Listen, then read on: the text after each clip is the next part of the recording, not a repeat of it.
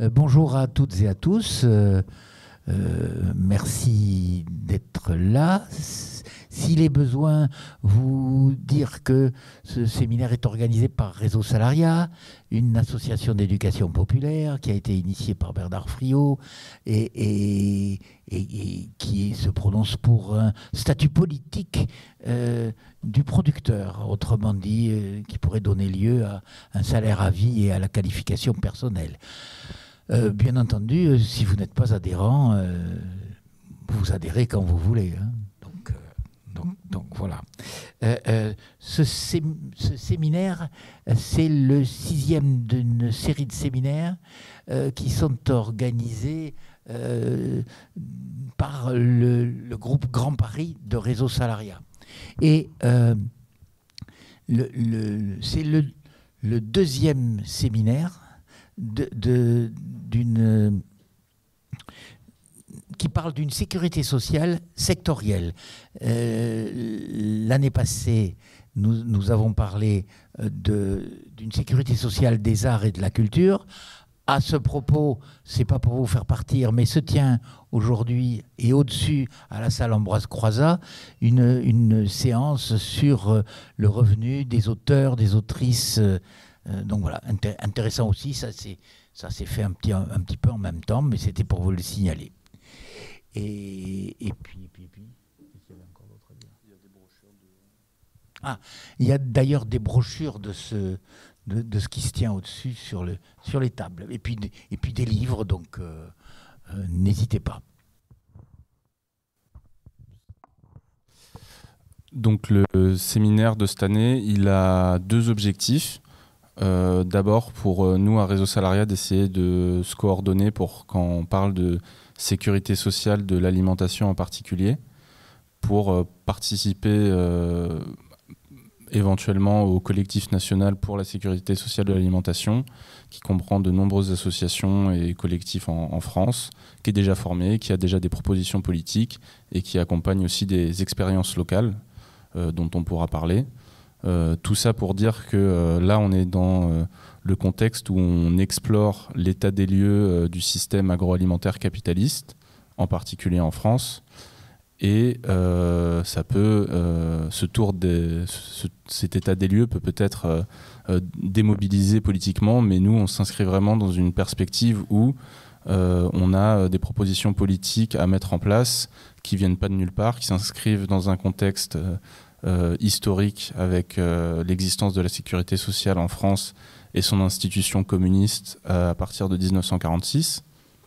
Si c'est pas clair pour vous, on pourra réexpliquer.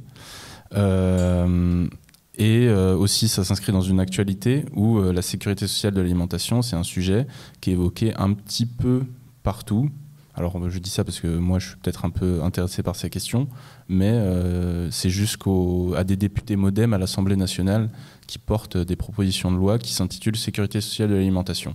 Politiquement, on n'a pas du tout la même vision, mais n'empêche que justement, si on ne veut pas euh, que euh, ce, projet soit euh, dévoyé, il faut à tout prix nous-mêmes construire une proposition émancipatrice de la sécurité sociale de l'alimentation, et donc gérée par les intéressés eux-mêmes.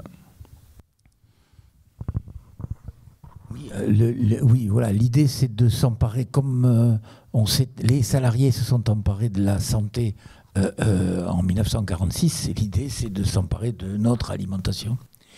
Et, la séance d'aujourd'hui sera sur la,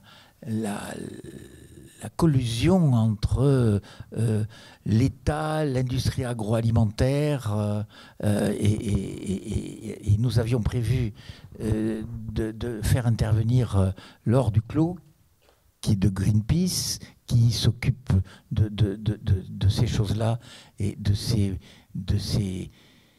ces agents d'influence et de pression. Et malheureusement, elle a été empêchée et donc nous ne la verrons pas aujourd'hui. En revanche, il y a Andy Batentier qui est là et qui mène la campagne de Secrets Toxiques, euh, qui fait l'objet d'un livre que vous trouverez sur la table à l'entrée, mais qui a fait aussi l'objet d'un film, donc euh, voilà, et qui va nous parler de cette, de, de cette collusion qui ne fait pas bon ménage du tout avec notre santé. Je te laisse la parole, Andy. Bah, merci. Euh, Franck, et puis merci euh, pour cette invitation. Euh, moi, ça me fait plaisir de revenir à la Bourse du Travail. Il y a quelques années, j'ai milité ici pour les, mouvements pour le climat. Ça me rappelle des souvenirs d'être dans cette salle. et puis, ça me fait plaisir aussi d'être invité par le réseau Salariat parce que je suis très. je, je m'intéresse pas mal aux travaux de Bernard Friot aussi, par ailleurs, à titre personnel. Et il y a beaucoup, beaucoup de choses intéressantes. Donc, ça me fait très plaisir d'être ici. Euh, donc euh, voilà, donc comme ça a été indiqué, je suis le directeur de campagne de Secret Toxique qui est une coalition de 80 organisations euh, qui est pilotée par Génération Future, que certains d'entre vous connaissent, qui est une association de référence sur la question de la lutte anti-pesticides depuis des décennies. Nature et Progrès, qui est, euh, qui est aussi une référence en termes d'alternatives d'agriculture biologique qui ont un cahier des charges qui va plus loin que l'agriculture biologique et qui ont un label, etc. spécifique. Et euh, il y a euh, Campagne Glyphosate qui, comme vous le savez sans doute, vous avez sans doute entendu parler des pisseurs de glyphosate, les gens qui ont détecté du glyphosate dans l'urine de 99% des Français. Voilà, c'est la troisième organisation qui pilote la campagne. Donc ça va faire, euh, moi je suis sociologue de formation, ça va bientôt faire trois ans euh, que je suis sur cette, euh, sur cette campagne, à ce poste. Et, et, du coup, ben, pour ce qui est d'aller parler de la collusion État-lobby, ben, je me suis dit le mieux c'est de vous partager un petit peu l'expérience que j'ai par rapport à ça, et puis les réflexions que je peux avoir, qu'on peut avoir au sein de la campagne sur la question. Euh, et puis bah, du coup aussi présenter, euh, c'est ça l'intérêt, les, stratégies qu'on met, pour mettre en, qu'on met en place pour, euh, pour faire face en fait à, la, à, la, justement au système d'alliances objectifs qui peuvent exister sur certains points entre, entre l'État et, des membres de, de, de l'industrie. donc pour faire cette présentation, je me suis dit je vais partir de la question à laquelle vous étiez arrivé dans le, le séminaire précédent, qui était comment un système agro-industriel aussi néfaste peut-il durer? Et euh, je vais même euh, en rajouter une couche sur la question, c'est comment peut-il durer, euh, étant donné le paradoxe et l'écart qu'il y a entre les exigences réglementaires et les effets néfastes des pesticides qui sont constatés. Parce que vous allez peut-être l'apprendre, mais on a quand même une loi qui est un règlement européen donc euh, un, règlement voté par le Parlement européen qui est d'application directe euh, dans, le, droit français, qui définit, qui, a été, qui s'applique depuis 2009 et qui définit des exigences assez élevées pour les pesticides, parce que là, bon, c'est assez long, hein, la slide que je vous ai mis, c'est le, le, texte exact du règlement, mais en gros, ça veut dire que avant d'autoriser un pesticide, on doit apporter la preuve que dans des conditions normales d'utilisation, il n'a pas d'effet néfaste sur la santé humaine ou sur l'environnement, que ce soit à court ou à long terme. Donc, euh, il est assez simple de se rendre compte que, les pesticides ont des effets néfastes à, court ou à long terme sur la santé humaine et sur l'environnement. Donc, il y avait des choses qui étaient déjà dénoncées dans les années 60 par Rachel Carson. Euh, mais si on veut faire euh, dans, le, dans le non militant, entre guillemets, et, et, et, dans, le récent, en fait, on a donc deux, deux expertises collectives. Donc, c'est des méta-analyses qui portent sur des milliers de publications scientifiques de l'INSERM pour l'aspect santé humaine et de l'INRAE Ifremer pour l'aspect biodiversité qui disent clairement bah voilà les pesticides sont un facteur de maladie sont un facteur de, euh, chute de la biodiversité donc en contradiction totale avec les exigences réglementaires euh, donc partant de là, euh, comment est-ce qu'on en arrive justement à, ce, paradoxe?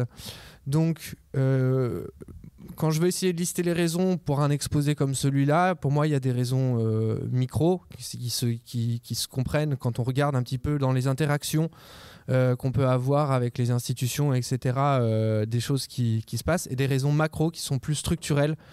et donc, je vais les présenter comme ça, l'une après l'autre.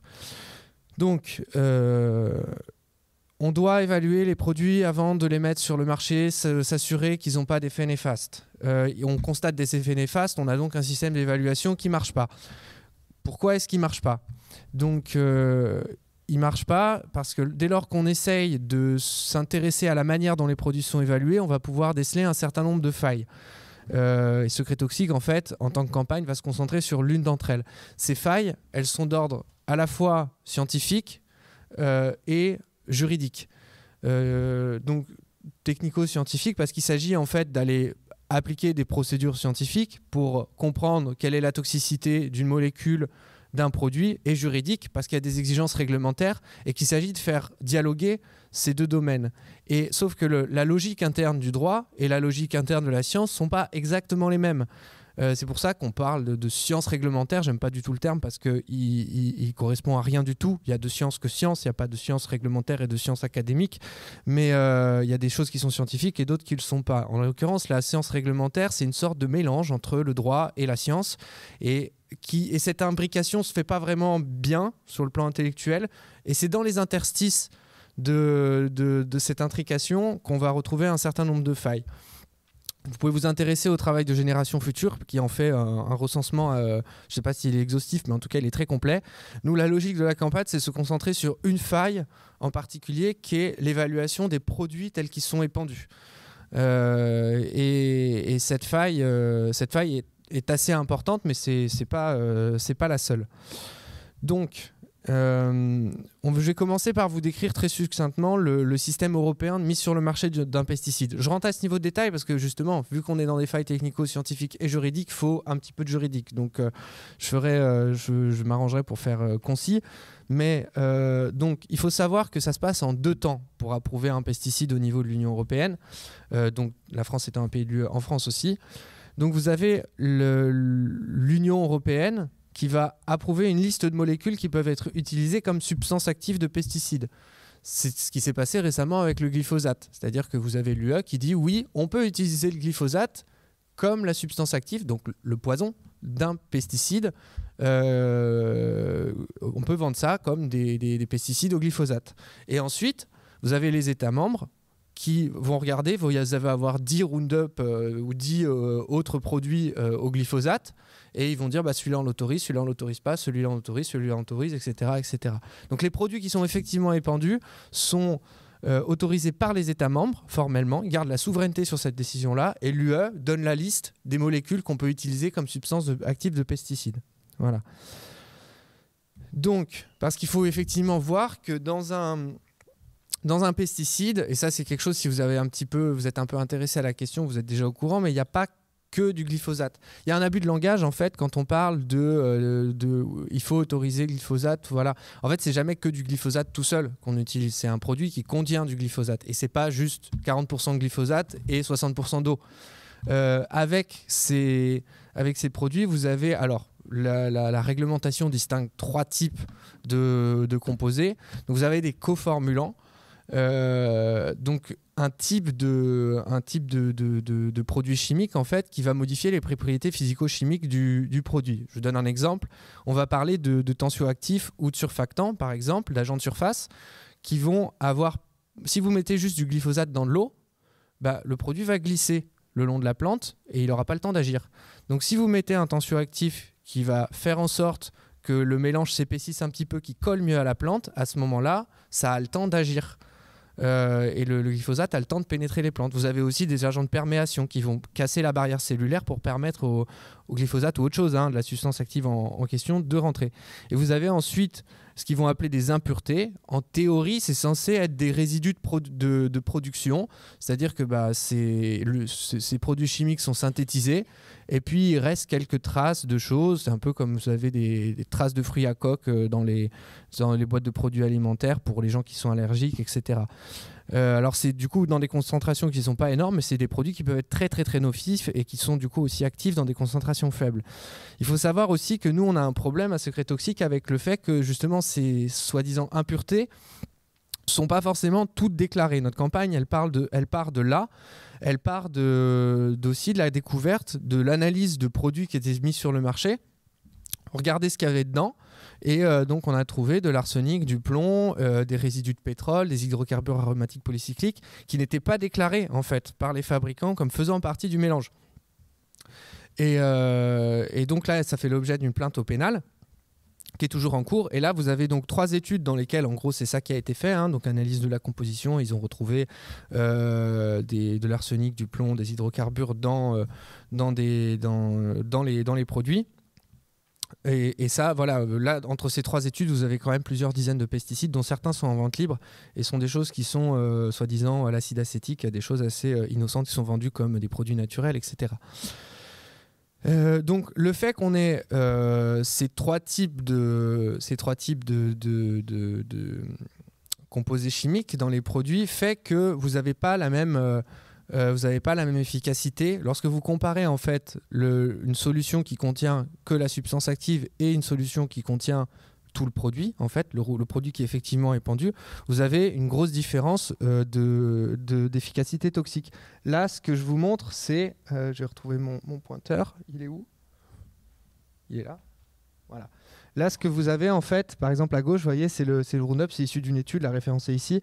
c'est c'est la concentration, qu'il faut pour obtenir euh, un certain nombre de morts euh, dans des cultures cellulaires.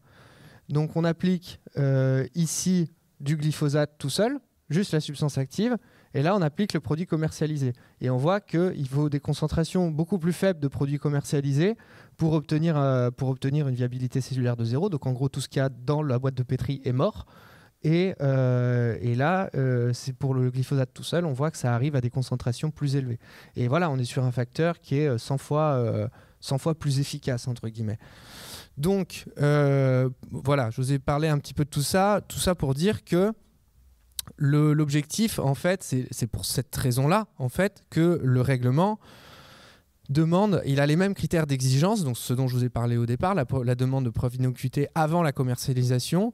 Il y a des mêmes critères d'exigence pour les molécules déclarées comme substances actives que pour les produits formulés. C'est-à-dire que autant la substance active ne doit pas avoir effet néfaste, blablabla, dans, les contextes, dans le contexte que je vous ai dit, autant les produits formulés doivent avoir ça aussi. Euh, ça, c'est valable. Alors on peut se dire, donc ça, c'est pour les États membres.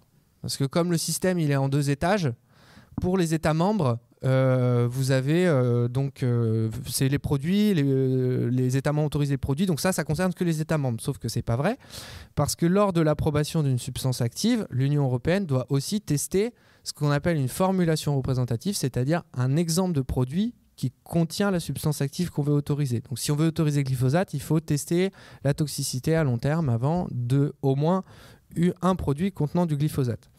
Et ce qu'on va pouvoir constater, dans le droit. Donc ça, c'est la, loi générale. Mais après, lorsqu'on regarde la liste des documents qui sont demandés euh, lors du dépôt euh, d'une demande d'autorisation de mise sur le marché, eh ben, il n'y a pas les mêmes demandes de données pour les substances actives que pour les produits. C'est-à-dire qu'il y aura, pour la substance active, on va demander des tests de toxicité à long terme, donc tout ce qui concerne la carcinogénicité, la neurotoxicité, la reprotoxicité. Euh, c'est très barbare hein, comme méthode. On donne ça à des pauvres bêtes qui n'ont rien demandé et, euh, et, on regarde au bout de deux ans euh, quel genre de maladie ils ont développé. par contre, donc ça, permet d'avoir un indice sur la carcinogénicité des, des substances actives. c'est pas parfait, mais c'est ça qui est utilisé. Et par contre, pour les produits, il n'y a pas de demande de ce type de données. On ne demande pas de tester les formulations euh, sur, euh, euh, dans, ce genre de dispositifs expérimentaux. Donc ça a fait l'objet d'une procédure devant la Cour de justice de l'Union européenne en 2019, qui est assez importante pour notre campagne, puisqu'il a été posé la question, en gros c'est la question qui a été posée à la Cour, en leur disant, bah écoutez, vous, vous êtes... enfin voilà, il n'y a pas de demande d'étude de toxicité à long terme, donc est-ce qu'on peut dire que le règlement est respecté? Et la Cour a répondu, ils ont dit oui, oui, en effet, euh, quand on regarde la liste des documents demandés, euh, ça suffit pas à s'assurer de l'innocuité des produits, mais il est de la responsabilité des autorités compétentes de se doter des outils nécessaires. Tout va bien. vu que les, agences, en toute responsabilité, vont se doter des outils nécessaires. Reste que, ben, on se pose quand même la question de savoir où sont ces outils nécessaires. D'où une action de notre campagne. Euh, en février 2021, il y a 119 parlementaires qui écrivent à l'EFSA, qui est l'agence sanitaire européenne, qui, leur demande donc de mettre en place une prise en compte des effets cumulés de la substance active telle que déclarée et évaluée avec tous les autres composants de pesticides qui sont présents dans les formulations commerciales, et ce, dès la procédure d'autorisation ou de renouvellement d'une substance active déclarée. Donc en gros, vous n'avez pas de méthode, mettez en place une méthode et vite, parce que ça fait 13 euh, ans, 12 euh, ans que le, 11 ans à l'époque, du coup, que le règlement est en place. Donc l'EFSA, à ce moment-là, répond. Et c'est là où on en vient justement aux raisons, là je vous, donne un petit peu les données du problème, et c'est là où on en vient vraiment aux raisons de la, à la collusion entre guillemets en elle-même, à savoir que les réponses apportées, elles étaient euh, pour le moins euh, et on a été un petit peu, euh, ils ont essayé de nous balader dans plein d'endroits, etc. Et c'est là où il y a un retour d'expérience qui est intéressant à donner. voilà, c'était un peu nous à certains moments, mais on a quand même réussi à s'en sortir. Donc, déjà, on arrive à, on arrive à, face à, donc l'EFSA répond en fait et propose un rendez-vous en fait. Ils disent bah écoutez, on va vous expliquer comment on fait. Vous allez voir, euh, vous allez être super rassurés avec les parlementaires et puis euh, nous euh, les assos quoi. Donc, faut savoir une chose, c'est qu'évidemment, ils vont pas nous répondre sincèrement. Ils vont pas arriver et puis nous dire euh, oui, on fait n'importe quoi. Ça n'a aucun sens. Tout ce qu'on fait, euh, tout ce qu'on fait n'a aucun sens. Et puis, de toute façon, ce qu'on nous demande, c'est impossible. Euh, le droit n'est pas appliqué, ne peut pas être appliqué. Et de toute façon, ces produits, c'est de la merde et il faut s'en débarrasser. Ça, ça n'arrivera pas. donc, du coup, ils vont plutôt chercher à se justifier. et donc, ce qui, ce qu'on a vu en fait, c'est qu'ils vont jouer comme ça, en nous répondant pour se justifier sur la technicité scientifique et juridique du sujet pour faire diversion. Euh, voilà, on va, on va avoir droit à, donc je vais noter hein, dans, la, dans la diapositive, un galimatia, je voulais éviter le mot charabia jargonneux. Euh, l'idée étant de, nous de, développer un certain nombre de stratagèmes rhétoriques euh, qui du coup vont nous empêcher d'avoir des réponses claires. Donc je m'explique. Sur l'aspect de la technicité scientifique du truc, ils vont diluer le problème. ils vont euh, noyer le poisson. Euh, donc, l'EFSA répond à la lettre. Ils disent euh, Ok, on va vous inviter. Alors, la lettre est déjà un, sacré salmigondi. De, de, voilà, il faut bien la lire pour la démêler et avoir des réponses à ce qu'on veut. On leur dit Bah écoutez, on accepte votre proposition de rendez-vous, on, va expliquer. Mais par contre, on a des questions et on veut des réponses. Hein. C'est pas c'est pas, c'est, pas, c'est pas freestyle, c'est pas euh, buffet gratuit quoi. Donc on arrive en disant on a un questionnaire. Et eux, ils nous disent oui, questionnaire, très bien, euh, mais euh, on aimerait bien vous faire quelques présentations avant pour bien mettre en place le contexte et faire en sorte que voilà, on ait bien le même niveau d'information, qu'on sache où on va, etc. etc. alors on avait la chance d'avoir avec nous Giléric Serralini qui avait travaillé dans les, dans les justement dans ces agences et qui a dit attention, ils font exprès avec ce, avec ce, genre de choses. Ils vont vous faire des présentations absconses qui vont durer des heures euh, et, noyer le sujet. Et ça, ça, il faut pas faire ça, il faut vraiment imposer le questionnaire. Donc on a imposé le questionnaire avec l'EFSA, on a eu un format de réunion dans lequel il a fallu les cuisiner, mais on a réussi à obtenir des réponses. Euh, il y a eu une autre réunion euh, qui a rassemblé juste les, des parlementaires euh, et l'ANSES un peu plus tard, où ça avait été un peu plus relax. C'est-à-dire que du coup, ils avaient laissé l'ANSES faire ses, faire ses présentations. Ça avait duré trois heures. et en fait, ça a été un enfer pour eux. Parce qu'il faut imaginer des présentations extrêmement. Enfin, qui sont pas sur le sujet pour lequel vous êtes venu qui sont volontairement ébouriffés de vocabulaire technocratique abominable et euh, on vous dit ça va durer 20 minutes, vous inquiétez pas, au bout d'une heure et demie, vous, vous, criez pitié et vous vous, demandez, euh, vous demandez ce que vous faites là, et ça continue, vous savez pas quand ça va s'arrêter. Euh, non, c'est vraiment une torture. Et, et, donc, vous savez plus pourquoi vous êtes là, vous avez qu'une envie, c'est de partir et de plus jamais entendre parler de cette histoire. C'est très efficace comme méthode. Et, c'est très efficace parce qu'effectivement, l'EFSA, et, et je pense qu'ils se donnent le mot, quand ils doivent se justifier comme ça, parce qu'effectivement, le l'ANSES a fait le coup, l'EFSA a essayé de nous faire le coup.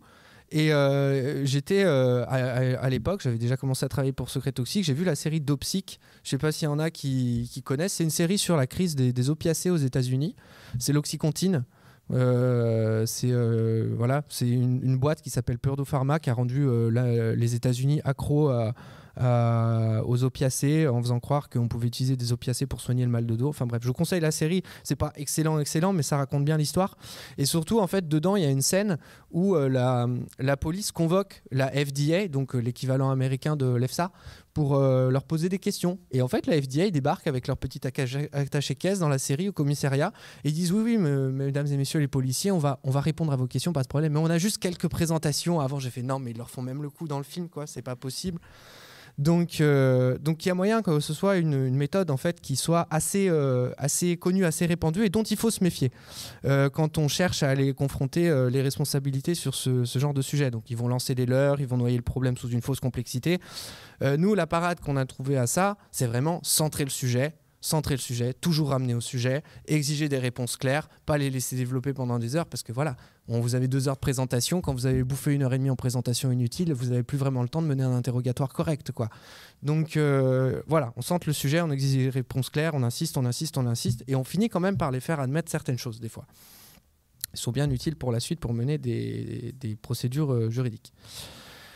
Un autre plan, justement, sur la technicité juridique, c'est euh, le phénomène de dilution de la responsabilité et la partie de tennis à 5 qui, peut se jouer très vite dès lors qu'on parle des pesticides. Je vous ai dit que c'était euh, déjà, il y avait une partie qui se décidait au niveau européen, une partie au niveau euh, français. Là-dedans, vous avez encore l'exécutif qui décide de quels sont les, quels sont les produits qu'on autorise. Vous avez aussi le conseil, l'expertise et la décision qui sont séparés, pas vraiment au niveau français, mais au niveau européen. bref, si je vous faisais un schéma, ça deviendrait assez vite complexe. Mais du coup, je vais vous prendre un exemple de la manière dont les institutions en fait peuvent facilement se renvoyer la balle pour se détourner de toute responsabilité. Le système est un peu conçu comme ça en fait. Euh, à dessein ou pas, j'en sais rien, mais en tout cas, c'est très facile pour les institutions, les différents niveaux de responsabilité, de se renvoyer la balle. De se renvoyer la balle. Je vous donne l'exemple du glyphosate. Donc vous avez d'abord l'EFSA qui donne un avis scientifique. Ils reçoivent toutes les études, ils étudient, ils séparent celles qui sont gênantes de celles qui sont euh, OK. Généralement, d'un côté, vous avez les études des industriels et d'un côté, vous avez les études des euh, académiques qui sont pas faites selon les mêmes critères et comme par hasard, c'est les critères des industriels qui sont pris en compte et qui soi-disant sont la meilleure science, ce qui l'avis que des agences sanitaires. Enfin bref. Euh, et donc ils font ce rapport d'évaluation et ils débarquent en disant euh, il n'y a pas de domaine de préoccupation critique. L'EFSA, elle a un pouvoir. C'est un organisme de conseil scientifique, mais elle a un pouvoir. Elle est capable de dire il y a un domaine de préoccupation critique. Donc elle dit là, c'est NIMP. Quoi qu'il arrive, quoi qu'on fasse avec ce produit, on ne peut pas l'avoir euh, en contrôler les effets dans un usage normal. C'est impossible en fait. C'est trop nocif. Donc dans ce cas, ils disent il y a un, domaine de préoccupation critique et ça, ça empêche la substance de se faire réapprouver. Ils ont ce pouvoir-là, ils peuvent le faire. Ils ont décidé de ne pas le faire. pourtant, sur le glyphosate, euh, il y a une dose de connaissance euh, sur la nocivité du truc euh, qui montrait jusqu'au plafond. Donc, ils ont dit il n'y a pas de domaine de préoccupation, critique, mais il y a des data gaps. je ne sais pas comment on va dire en français. Des, Il, y a, des endroits où il manque des données. Mais dans, mais c'est pas, c'est un genre de préoccupation mineure où euh, ça leur permet de dire on va laisser le politique évaluer le risque. Donc zouf, la patate chaude, elle passe à la commission. Donc la Commission européenne, pour ce qui est de, le, des, euh, je sais pas, bon, pour ce qui est du fonctionnement des institutions européennes, mais euh, le, je vais pas non plus rentrer trop là-dedans parce que sinon on en a pour la nuit, mais en gros, en théorie, la commission, c'est censé être le secrétariat des États membres. C'est censé être un genre de, de, voilà, de réunion diplomatique des États membres qui se mettent d'accord pour commercer ensemble et faire des trucs ensemble. Et la commission, c'est censé être le secrétariat. En théorie, hein. en vrai, ils ont évidemment beaucoup plus de pouvoir qu'un simple secrétariat. Mais la commission reçoit l'avis de l'EFSA et elle va formuler une proposition pour faire voter les États membres sur la réapprobation du glyphosate. Donc elle dit voilà, nous on pense au vu du truc de l'EFSA, que de l'avis de l'EFSA, qu'il faut réautoriser le glyphosate pour 10 ans. Qu'est-ce que vous en pensez, vous, les 26 Alors, les 26, ils discutent et ils doivent, euh, ils doivent voter. Et donc, ils doivent voter. Donc, c'est pas juste 50% oui, 50% euh, non. Euh, c'est plus compliqué que ça, évidemment c'est il faut une majorité qualifiée pour avoir une décision. Donc vous avez trois issues possibles au vote. C'est oui, on réautorise. À ce moment-là, il faut 55% des États membres représentant au moins 65% de la population européenne. Euh, c'est non, on interdit, pareil, avec les mêmes conditions. Ou alors, on n'atteint pas le quorum. Comment est-ce qu'on n'atteint pas le quorum? En s'abstenant. C'est pour ça qu'on disait la France s'abstient, la France s'abstient, la France s'abstient. Et eh ben la France s'est abstenue, comme ça il n'y avait pas le quorum, et puis comme ça les États, ils prenaient pas la décision. Parce que tout le monde sait que ça pue, hein, le glyphosate. hein. Et personne n'a envie de prendre la décision de, de, de, réautoriser ce truc-là en disant bah oui, oui, c'est moi qui l'ai réautorisé, parce qu'après, il faut porter la responsabilité des maladies, des effets sur l'environnement, etc. Donc les États membres, en fait, ils ont juste pas pris de décision. Donc une fois, deux fois, ils n'ont pas atteint la majorité qualifiée. Et dans ce cas-là, les textes, ils prévoient que ça revient dans les mains de la Commission. Et à ce moment-là, la commission, directement après la deuxième réunion où ils n'ont pas pris de décision, ils ont publié un communiqué en disant on va réapprouver pour 10 ans, mais nous rappelons que les autorisations se font par les États membres qui sont tout à fait libres de faire ce qu'ils veulent. Donc, euh, donc là aussi, ils renvoient euh, la politesse aux États membres qui leur ont envoyé la patate chaude et comme ça, elle circule, euh, elle refroidit pas pour autant. Euh, donc, euh, et la réalité d'ailleurs, c'est pas vrai que les États membres font ce qu'ils veulent parce que le Luxembourg a cherché, a voulu interdire les produits au glyphosate sur son territoire. L'interdiction, a duré deux ans.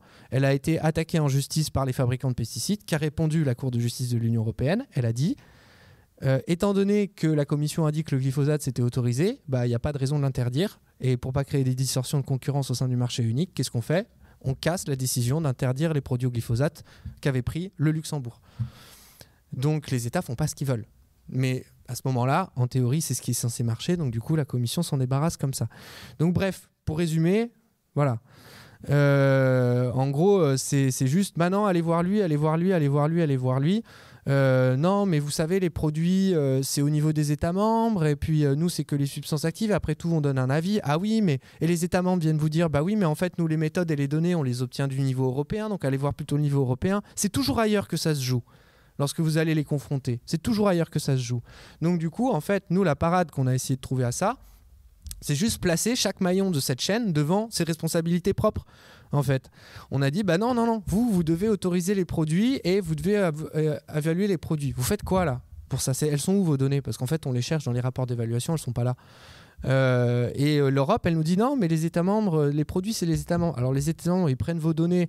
Vous savez très bien qu'ils prennent vos données pour euh, autoriser les produits. Et ensuite, euh, vous avez quand même un produit, un exemple de produit que vous devez évaluer vous-même. Donc en fait, on a vraiment mis chacun en disant, on, a- les laisse pas nous renvoyer à la porte en disant allez voir ailleurs parce que c'est pas chez moi que ça se passe en fait. On a dit non non, chez vous il se passe un truc, il se passe ça. Qu'est-ce que vous faites pour ça? Euh, Et surtout, il faut abandonner l'idée de trouver un responsable global parce que il n'existe pas.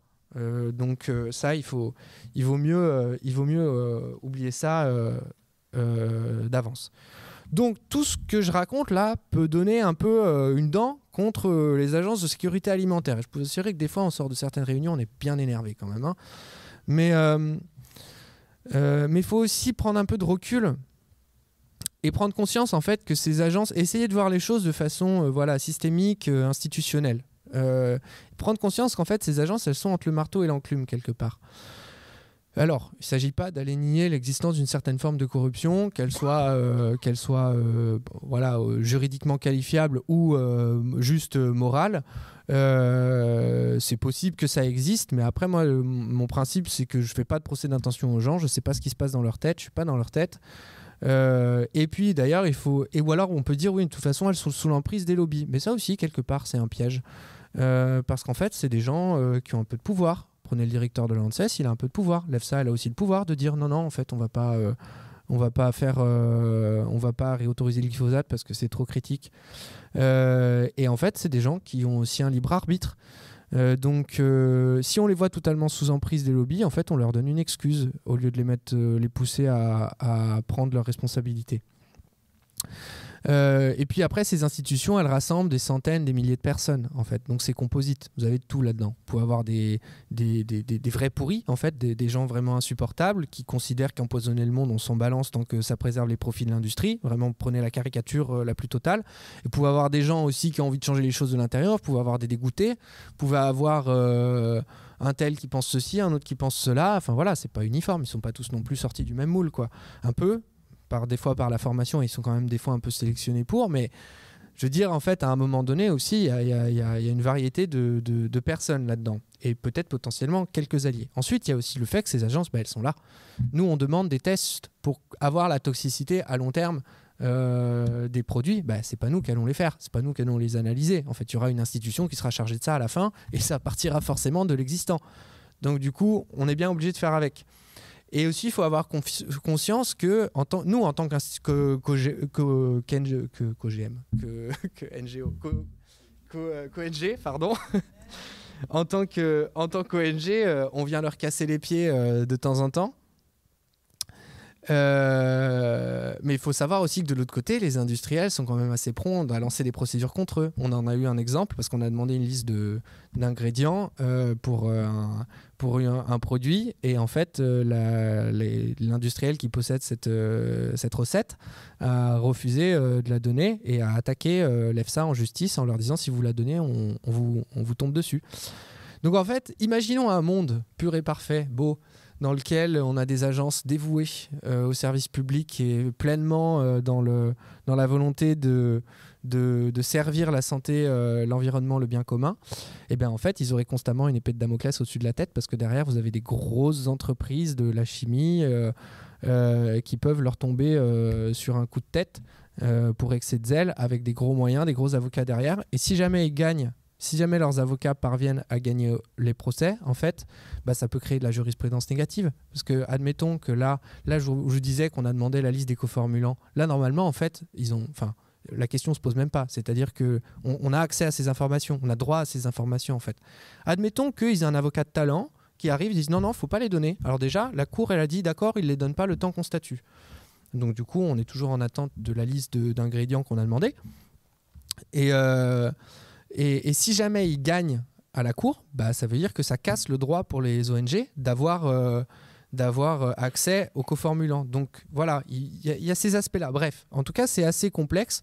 Nous, on s'est dit récemment, on avait un rapport très très frontal avec les agences. On s'est dit stratégiquement, c'est peut-être un peu plus intéressant d'essayer d'en faire, de se positionner un peu en allié critique, en leur disant, vous voulez avancer dans le bon sens, très bien, on sera avec vous. Si vous voulez aller dans le mauvais sens ou que vous essayez de nous la faire à l'envers, eh bien, en fait, vous nous trouverez contre nous et on peut être assez teigneux.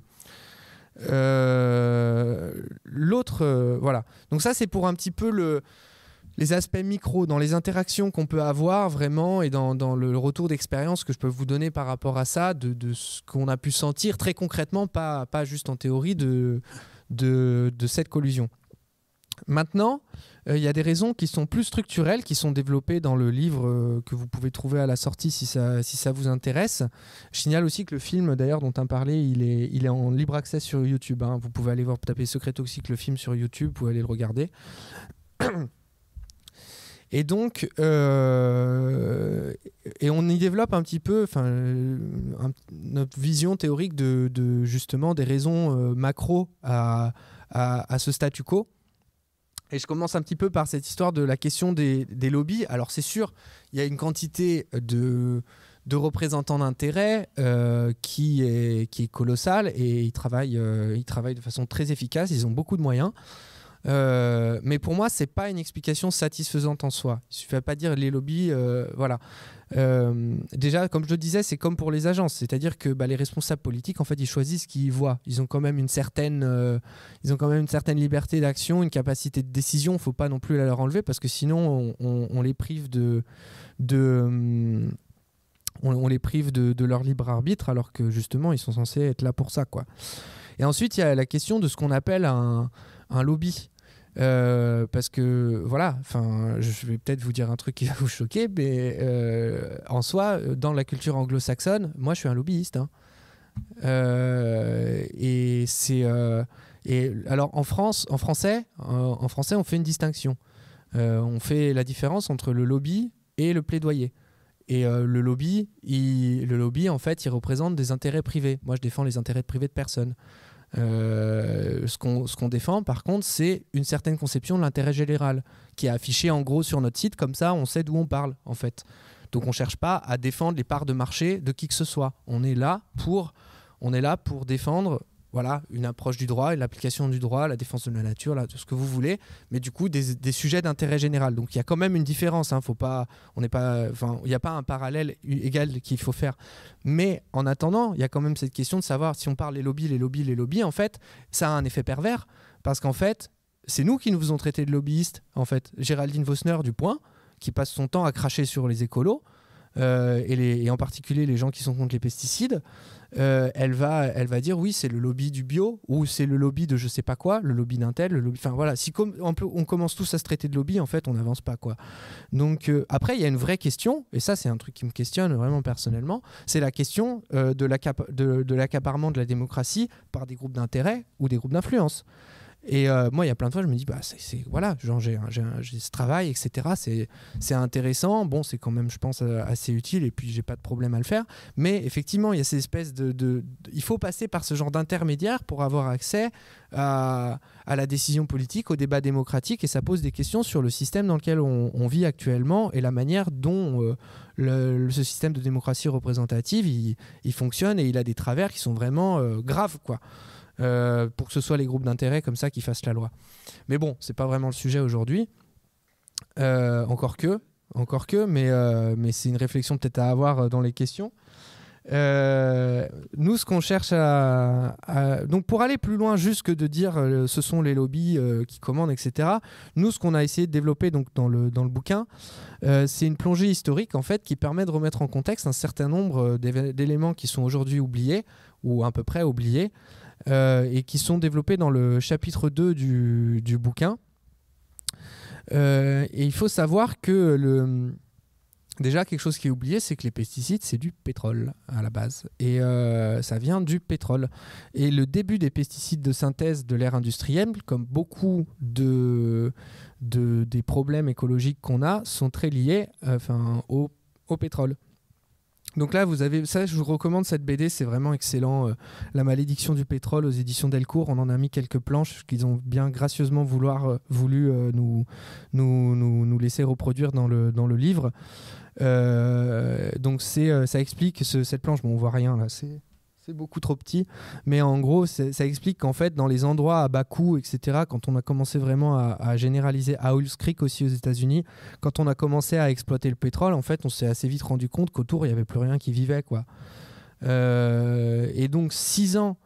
Euh, six ans après euh, l'ouverture du premier puits de pétrole, en fait, eh ben on commence, vous avez un, on commence à utiliser le pétrole à des fins insecticides. Je m'explique. Vous avez donc des vergers d'orangers en Californie qui subissent à intervalles réguliers ce qu'on appelle les invasions de cochenilles. Alors cochenille c'est ça, hein, c'est cette petite bestiole un peu, un peu farineuse. Euh, euh, et, donc les, se rendant compte qu'autour des puits de pétrole il n'y a pas grand chose qui vit, on dit bah, on va aller voir, on va balancer un petit peu de diesel là-dessus, on va voir ce que ça donne. Et ça marche bien. Euh, ça marche bien parce qu'on se débarrasse des cochenilles. Des cochenilles. Alors faut faire attention faire attention parce que si jamais on met une solution de pétrole trop concentrée, eh ben on, casse l'arbre, on tue l'arbre qu'on veut essayer de soigner. Donc là, attention, on faudrait peut-être en mettre un peu moins. Et puis au bout d'un moment, on se rend compte aussi qu'il y a une partie des molécules qui sont dans le pétrole qui vont euh, avoir un effet euh, sur les insectes, pendant qu'une autre a un effet sur les plantes. Donc du coup, si on veut viser les cochenilles, on essaye de fracturer le pétrole pour enlever toute la partie qui concerne les plantes et viser que les cochenilles. Et ensuite, une fois que si on veut vraiment euh, plutôt aller lutter contre les mauvaises herbes, etc., on va plutôt se concentrer sur les molécules qui ont un effet herbicide. C'est comme ça qu'elle se construit l'expertise de l'industrie chimique sur la question des pesticides. Aujourd'hui, vous allez sur le site de Bayer, vous avez des, vous avez des gens en blouse blanche là, euh, en train de manier des éprouvettes avec un air inspiré. On dirait qu'ils ont tous trois doctorats. Euh, alors c'est peut-être le cas aujourd'hui, mais en attendant, euh, historiquement, faut pas oublier que c'est un gros truc de bourrin en fait. Il s'agit juste de balancer du pétrole sur des arbres. Et, euh, c'est voilà, il y a une telle justement, bah voilà, ils font ils font leur communication, ils font leur publicité, leur propagande, et en fait, euh, à la fin, on, oublie un peu que tout ça vient de, c'est un tâtonnement en fait. C'est on, fait les brutes, et ensuite, une fois qu'on a fait les brutes et qu'on a un peu tout cassé, eh ben on essaie de, de s'adapter, et après on vous vend ça comme de l'expertise et du professionnalisme. Euh, bref, je reviens à, mes cochenilles. Est-ce que bon, ça, ça, marche bien, comme je disais, et il n'y a plus de cochenilles sur les arbres. Donc, le propriétaire du verger, il est super content parce que euh, ses rendements en orange, ils explosent. Euh, une autre personne qui est super content, c'est la personne qui, qui va lui vendre les produits en question. qui c'est juste du pétrole qu'il arrive à extraire à bas coût, hein, qui, qui ensuite il transforme un petit peu et après il lui vend à prix d'or. Euh, et donc il se fait euh, de gros profits. Et la troisième personne qui est contente, bah, c'est l'État, en fait, qui est bien content d'avoir euh, une ressource avec des rendements très élevés, qui est bien content d'avoir une certaine abondance en orange, de développer aussi éventuellement une capacité d'export qui lui assure un intérêt qui, peut permettre de jouer sur certains aspects géopolitiques. Donc voilà, ça va assez loin cette histoire. Donc vous avez comme ça une sorte de convergence d'intérêts objectifs entre les, gros propriétaires, les marchands de, de pesticides et, et l'État.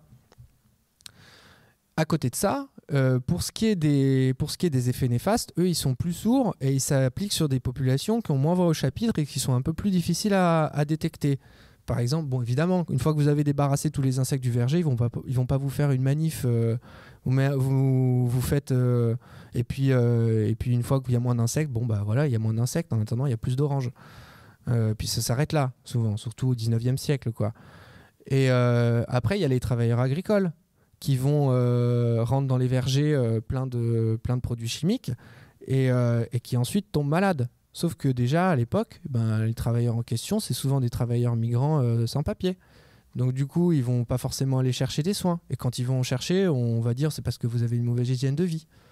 Donc, donc, les donc voilà, les problèmes comme ça sont rendus sourds, ils sont souterrains, ils sont longs à se déclarer, euh, ils sont pas aussi visibles que les gros profits qu'on peut faire à court terme.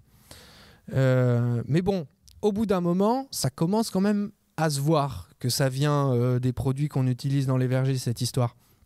Et donc, il y a la nécessité de réguler. Qu'est-ce qu'on fait pour réguler? On va créer des agences sanitaires. On va créer des gens qui vont tester les produits et qui vont dire celui-là il est bon, celui-là il est pas bon. Sauf que le problème, c'est que euh, cette agence, elle se construit dans un contexte politique qui est extrêmement déséquilibré, avec d'un côté des grosses entreprises de la chimie, des gros propriétaires terriens, des gros... Euh, L'État aussi, tout simplement, qui a intérêt au statu quo, parce que ces produits garantissent une certaine abondance, une capacité d'export, des profits, etc. etc. Et euh, vous avez aussi à côté bah, à côté, justement, bah, les, gens qui cherchent à se défendre, bon grand, bon malgré, donc euh, les, travailleurs migrants sans papier, les insectes, quoi. Donc euh, le rapport de force est complètement déséquilibré. Et, et c'est dans ce contexte-là que les agences se créent et elles ne sont que la résultante, leur mandat n'est que la résultante de ce rapport de force. Et partant de là, Partant de là, en fait, bon, ça va être écrit dans leur constitution, euh, il faut protéger la santé, la biodiversité, s'assurer l'innocuité, machin. Puis en fait, en réalité, ce qu'elles vont chercher à faire, c'est protéger, c'est trouver le niveau de dégâts socialement acceptable qui permet le maintien euh, du statu quo, qui permet d'entamer le moins possible les profits au sens économique et puis euh, politique qui sont apportés par l'usage massif de pesticides. Et c'est comme ça encore aujourd'hui que euh, bah, les lobbies ont gain de cause finalement. C'est avec aussi ce rapport de force qui n'a pas tellement changé.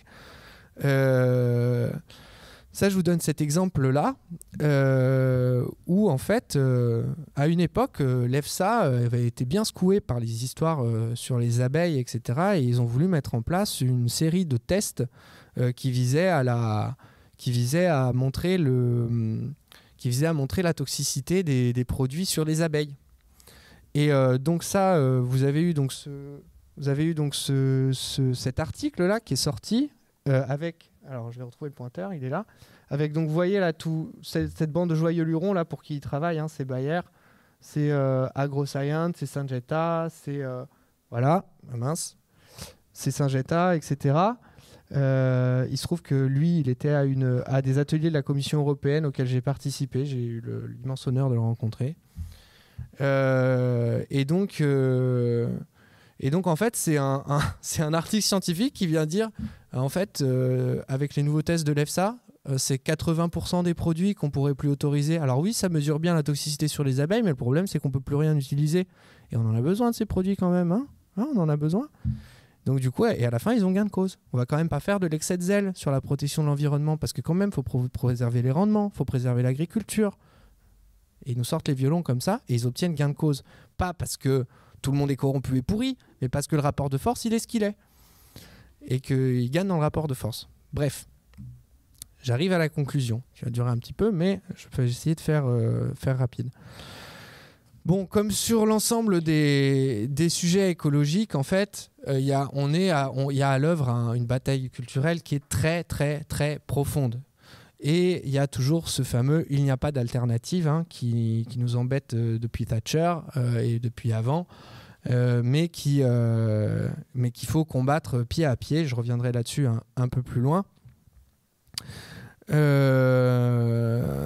donc donc on peut faire sans, on doit faire sans, parce que bon, si on continue comme ça, en fait, quand il y aura plus, euh, plus d'insectes et que les nos yeux pour pleurer, en fait, bah, on aura l'air malin. Remarque, il y a des gens qui commencent à faire des, drones pollinisateurs et qui essaient de se placer sur le marché. Croyez pas que le capitalisme va s'effondrer de lui-même hein, à ce niveau-là, parce que la fuite en avant, les, conditions de la fuite en avant, elles sont déjà réunies. Hein. les solutions techniques pour la fuite en avant, elles sont là. Hein. Euh, je vous conseille d'ailleurs le film Une terre sans abeilles.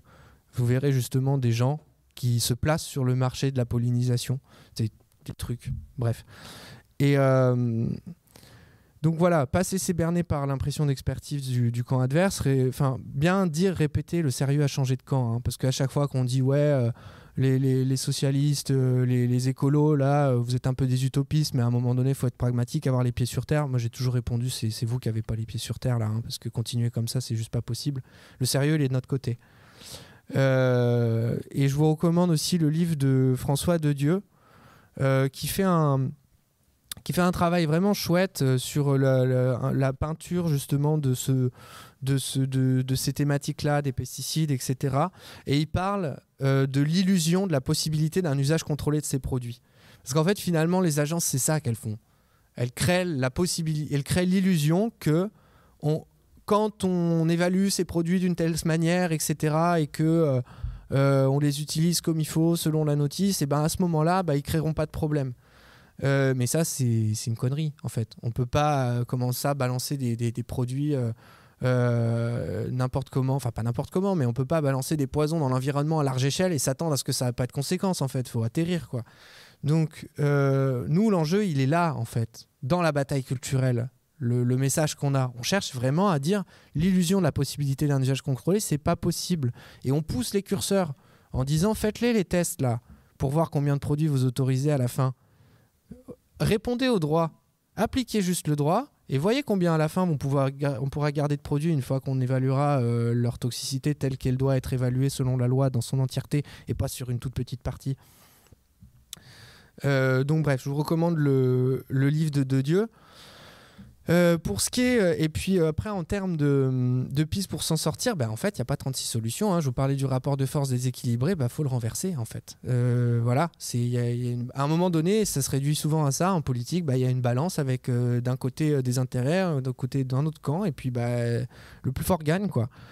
Et euh, donc, on a une alliance objective d'un côté avec État, gros producteurs, fabricants de pesticides. Bah, nous, de notre côté, on a, une alliance entre euh, ONG, euh, ONG, certains députés, des paysans aussi, hein, parce qu'on on oppose un peu trop les militants écolos avec les paysans. Le coprésident de Secret Toxique, il est paysan. Hein.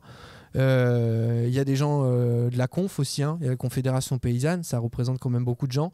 Et puis, il faut pas croire aussi que tous les agriculteurs tous les agriculteurs sont, même ceux qui utilisent des pesticides, euh, en ont rien à foutre. Déjà, c'est souvent des gens qui sont proches de la terre, qui aiment ce qu'ils font, mine de rien, qui le font dans des conditions qui sont pas faciles. Et après, ils utilisent des produits. Alors, il y a des gens obtus, évidemment, mais euh, ça arrive de plus en plus souvent, en fait, que euh, la ferme, il y a des enfants qui disent, moi, la ferme familiale, je la reprends on vient de la terre, je, viens, je veux bosser la terre, la ferme familiale, je la reprends, mais on la passe en bio. Parce que toi, papa, ton cancer de la prostate à 50 berges, moi, je veux pas le même. Donc il y a une conscience qui se développe en fait. Et il y a vraiment, de toute façon, l'agriculture, on la fait pas sans les paysans en fait. Hein. Donc euh, du coup, euh, voilà, il y a un besoin d'aller vers le monde agricole. Voilà, il y a des journalistes, etc. Puis après, faut, faut, faut ratisser large. Hein. On n'a pas les mêmes moyens pour se battre et on ne veut pas des, mêmes moyens. Et il y a certains aspects de la, bataille culturelle qui sont gagnés aujourd'hui en fait. Ça fait quoi? Deux, trois sondages qu'on se retrouve avec le résultat de 80% des Français qui veulent sortir des pesticides parce que tout le monde a compris que c'était de la merde ce truc-là. Alors après, il y a quand même un fort lobbying, pour le coup, de la part euh, de, la FNSEA, de la part d'un certain nombre d'acteurs influents qui ont intérêt au statu quo ou à la fuite en avant et qui vont chercher à nous pousser dans cette direction-là. Euh, mais par contre, la grande masse des gens, en fait, elle a compris que c'était n'importe quoi, qu'il fallait s'en sortir. Et puis, a cette nécessité, justement, je parlais de briser le il n'y a pas d'alternative. Alors ça, c'est un truc, qu'est-ce que ça m'énerve maintenant quand j'entends ça. Genre, oui, comment on peut faire sans le glyphosate et puis sans ces produits, vous voulez tuer l'agriculture et voilà qu'on nous sort les violons, etc. Il y a besoin de faire trois recherches sur Google pour se rendre compte que euh, des solutions agronomiques, elles existent, il y en a, c'est une question de volonté politique et c'est souvent le cas, encore une fois, sur les questions écologiques. Euh, il y a une situation dramatique, il y a une situation grave, etc. Mais ça sert à rien de s'asseoir et de pleurer. À un moment donné, c'est regarder ce qu'on peut faire. Et ce qu'on peut faire, il y a plein de choses. Et là aussi, j'ai des recommandations de lecture. Voilà, le livre de Xavier Poux et, et Pierre-Marie Aubert, qui a été rédigé avec une journaliste pour rendre ça digeste. Euh, et qui se lit très très bien, qui s'appelle Demain une Europe agroécologique. Sur notre chaîne YouTube, euh, je l'ai interviewé, euh, Xavier Poux. Et donc, si vous voulez, ça aussi, c'est dispo. Il y a l'INRAE en 2022 qui a sorti une, une, expertise collective qui est passée un peu sous les radars. Malheureusement, parce que c'est aussi du très très bon travail qui dit protéger les cultures en augmentant la diversité végétale des espaces agricoles. donc voilà, tout ça, en fait, c'est comment on fait pour avoir modulo quelques changements modulo, des changements importants dans, le, dans la production, dans la distribution et dans la consommation. Mais ça aussi, hein, on tombe vite dans la caricature. Hein, dans la consommation, c'est genre, ah, vous voulez faire bouffer du gazon à tout le monde? Bah non. en fait, euh, justement, quand on lit euh, le, livre de Xavier Poux et Pierre-Marie Aubert, on voit que bah, la plupart des changements de diète, en fait, finalement, ils sont plutôt bénéfiques pour la santé. Et c'est pas. Euh, c'est voilà, ceux qui veulent manger de la viande, ils pourront toujours manger de la viande. Euh, y a, voilà, il y a moyen de se mettre bien en fait. Il y a pas, euh, faut, voilà, faut pas tomber, faut pas laisser la caricature gagner quoi. Et puis l'INRAE aussi, ils avaient fait un travail à l'époque où Macron voulait sortir du glyphosate, sur quelles étaient les alternatives. Et c'est pareil en fait. Hein, euh, c'est une question de moyens, c'est une question de volonté politique et c'est une question de comment on, comment on aide. Hein. Quand vous avez 70% de la PAC qui part au conventionnel et 30% au, bio, bah vous inversez le ratio, d'un seul coup la situation elle change. quoi. Donc bref, il y a toute une myriade d'alternatives. Je ne parle même pas de tout ce qui se fait dans les associations, etc. Il y a une autre chose, en fait, ben, c'est de voter.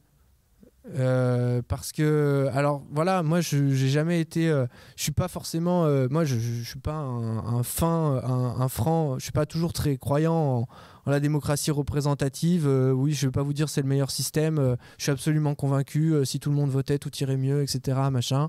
Non, c'est pas vrai. Euh, on, en doute euh, avant d'y aller, on en doute en y allant, et puis on en doute après. Mais il y a un truc sur lequel je doute pas, c'est que les parlements euh, avec lesquels je, bosse, si les majorités n'étaient pas les mêmes, si les rapports de force n'étaient pas les mêmes, bah, mon taf il serait beaucoup plus simple. Donc là, il y a les européennes qui arrivent. Franchement, si on voyait les taux de participation augmenter, bah, ça, nous faciliterait la vie. Et à plein d'autres assauts, en fait, finalement. Donc voilà, ça me paraît important de le dire quand même. Euh, il faut aussi pas tomber dans le piège, à mon avis, du catalogue de mauvaises nouvelles, parce que c'est un truc que j'ai pu constater beaucoup en trois ans de, de Secret Toxique. C'est qu'en fait, il y a quand même une tendance à, faire euh, celui qui est le plus au courant, euh, celui, qui est, celui qui est le plus au courant de la plus grosse dinguerie qu'on va pouvoir et de la plus grosse absurdité. Le problème, c'est que si on commence à faire ce catalogue-là, en fait, on n'a pas fini, on s'en sort plus, c'est complètement déprimant. Donc, vraiment, moi, je préfère essayer de de lancer des choses en disant bah ok bah comment est-ce qu'on fait pour, euh, pour se débarrasser du problème quoi. Mais bon ça c'est valable dans toutes les luttes je pense. Euh, et puis bah il y a cette histoire de choisir ses alliés ses adversaires et ses ennemis. Je vais vous partager une petite expérience que j'ai faite l'an dernier. Euh, on avait j'avais été invité par des par des camarades allemands à à, à l'AG de Bayer donc on a été devant le siège social de Bayer. Donc vous voyez, on était très nombreux. D'ailleurs, je me dis euh, si euh, je me dis que si euh, si on était 300, 400, un bon millier, rien que ça, un petit à bon entendeur, hein, mais un petit rassemblement devant le siège de Bayer. C'est aller vers Cousin, hein, c'est pas très très loin de Paris. Et, on va devant et puis on fait une petite manif devant et ben voilà. Hein, on fait ça régulièrement quand même. C'est pareil, ça change le rapport de force. Et euh, donc du coup, ouais, donc euh, là, on parlait des agences. Je vous ai dit c'est composite. Alors euh, il y a sans doute des pourris dedans, mais en même temps, il faut un petit peu négocier. Voilà, c'est plus des adversaires que, réellement des ennemis. Moi, quand j'ai été à Bayer, j'ai fait OK, l'ennemi, il est là. Déjà, regardez les bâtiments dans lesquels ils travaillent. Franchement, vous avez l'impression chacun des bâtiments qu'il héberge dans des méchants de Batman. Et, et, tout, il y a tout un campus. Ça vaut le coup d'œil hein, si vous passez dans le coin, essayez d'aller voir parce que du coup c'est le campus de la chimie. Alors ils ont tous des, bâtiments comme ça. Ça c'est leur siège principal. Alors ça fait envie. Hein. Et, euh, alors là, vous euh, voyez les arbres qui sont devant là Voilà, donc tous bien alignés sur une pelouse bien verte et puis tout écrasé en parapluie, là, comme ça, ils font déjà peine à voir. Mais alors, moi, je me suis aperçu en m'approchant un peu qu'ils avaient tous un numéro, une plaque, comme ça.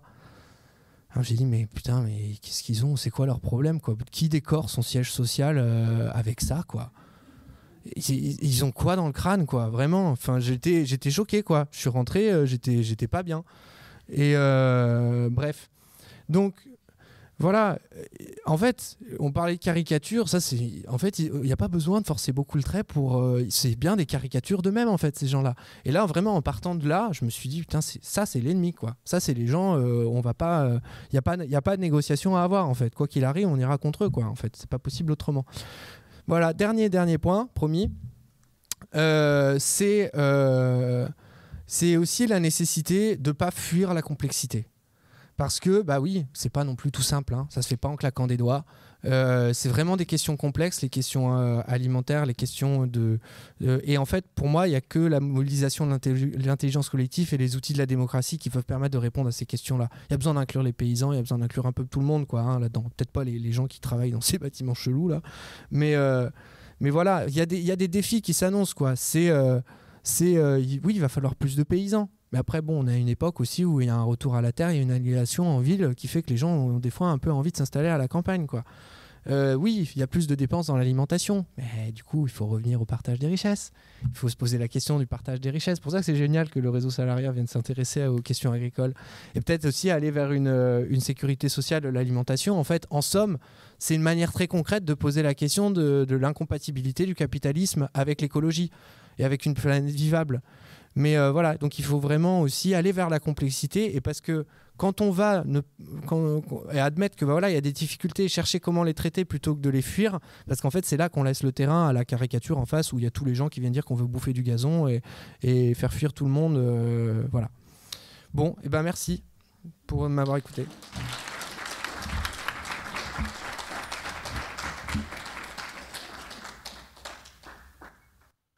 Merci. Merci beaucoup, Andy. Euh, c'est euh, c'est tout à fait passionnant. On, va passer aux questions, mais euh, le groupe thématique de réseau salariat sur la sécurité sociale de l'alimentation, on, a déjà prévu un petit peu deux pendant que pendant qu'elles viennent parmi le, par le, public. Et, la première, c'est où en est la, la conscientisation de, de, ce propos tout à fait passionnant.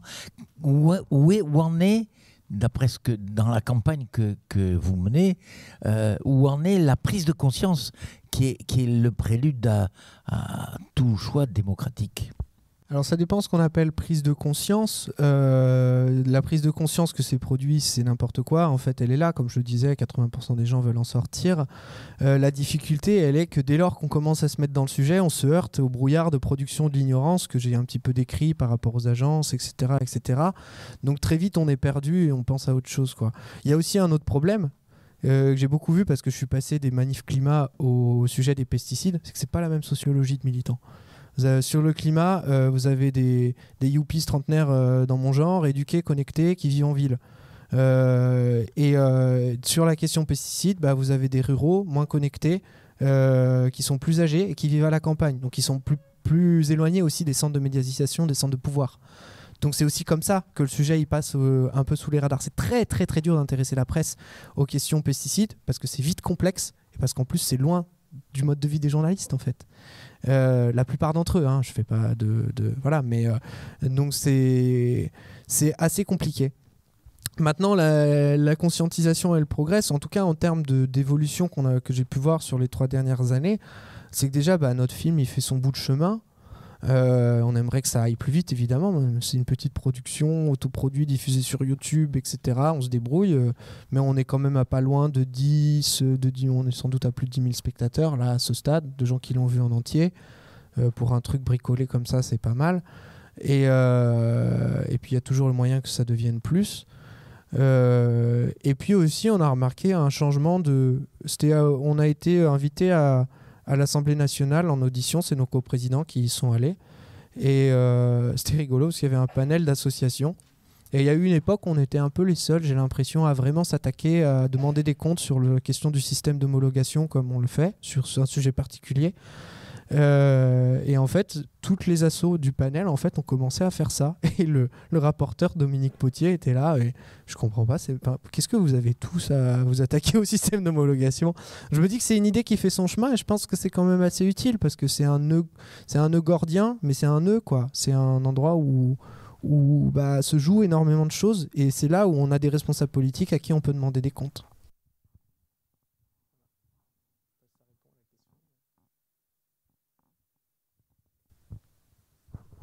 Eh bien, on, passe à, l'autre question. Euh, dans votre ouvrage, il est fait référence continuellement à Rachel Carlson, qui écrivait dès 62 qu'un euh, qu'un choix non démocratique, euh, dès 62, hein, a été fait d'une agriculture chimique empoisonneuse. C'est tout ce, qu'on vient de voir.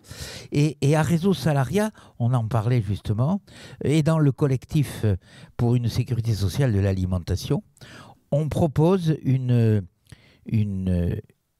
une sécurité sociale de l'alimentation basée sur le, choix, le conventionnement démocratique des acteurs de toute la filière, parce que là on a beaucoup parlé d'agriculture, mais la filière euh, euh, euh, c'est l'agriculture, la production agricole, mais le, la transformation et la distribution, ce qui est un très très gros morceau. Donc un conventionnement démocratique des acteurs de la filière. Qu'en pensez-vous? Alors c'est quoi qu'on appelle conventionnement démocratique? Désolé, je réponds pas non, à Non, non, mais c'est très bien. un conventionnement, l'idée de la sécurité sociale de l'alimentation, c'est c'est de réunir euh, au travers d'une cotisation euh, sur la valeur ajoutée, c'est de réunir quelque chose qui pourrait donner dans chaque personne de la famille, ce qui est à peu près la moitié du budget alimentaire, 150 euros par mois. Ces 150 euros ne pourraient être dépensés que chez des acteurs conventionnés exactement comme dans le régime général de la sécurité sociale de la santé, si on ne va pas chez un médecin ou un, soignant conventionné, on n'est pas pris en charge. C'est ça le, ce qu'on parle après. Euh, bon, mais voilà. Bah, moi, je vais répondre, euh, je vais répondre euh, pas en tant que directeur de campagne de Secret Toxique parce que je voudrais pas donner l'impression que c'est la position de, de, l'assaut parce qu'on n'a pas spécialement de, position là-dessus. Hein. Il y a tout un groupe justement sur la sécurité sociale alimentaire qu'on suit un peu de loin, mais euh, voilà, on, a trop de, on est sur trop de dossiers pour vraiment avoir le temps de réfléchir sérieusement, de formuler un positionnement clair là-dessus. Moi, je peux vous répondre personnellement. c'est déjà ça. et euh, déjà, euh, l'idée d'une sécurité sociale de l'alimentation, moi, ça m'intéresse. Je trouve ça, euh, je trouve ça, je trouve ça vraiment bien, à plein de regards, et pas que par sympathie pour le concept de sécurité sociale. en fait, on s'est rendu compte justement assez récemment, enfin en tout cas moi récemment, c'est que il y, y, avait justement pourquoi est-ce qu'on dit ouais les cantines bio c'est super important? Euh, alors c'est parce que comme ça, les gamins, ils vont, ils vont pas manger euh, des cochonneries euh, à l'école de ce repas où ils n'ont pas le choix. Et puis pour ceux dont c'est le seul repas, en plus comme ça, ils ont un repas de qualité, etc., etc. Bio et local, voilà. Donc ça déjà c'est super. Mais il y a un autre intérêt, c'est qu'en fait, en créant, en faisant en sorte que les collectivités locales et pas que les écoles, en fait, que la restauration du public se fasse euh, auprès d'un certain nombre d'acteurs triés sur le volet, qui soient en bio, qui soient à moins d'une certaine distance, euh, et ben en fait vous créez un marché et vous leur assurez une stabilité euh, qui leur permet de faire les investissements qui leur permettent de se développer. donc voilà, et en fait finalement quand j'entends sécurité sociale de l'alimentation, ben, je vois je vois de la planification qui permet de prendre cette logique-là et de la mettre à une plus grande échelle. Donc moi je pense que c'est que c'est vraiment quelque chose à, creuser euh, et que oui, sans doute, sans doute que bah oui, ça dépend des exigences du conventionnement en question. Mais si euh, l'exigence du conventionnement c'est de ne pas utiliser de pesticides, d'utiliser des techniques agronomiques, bah oui, ça peut être que bénéfique euh, à plein de niveaux.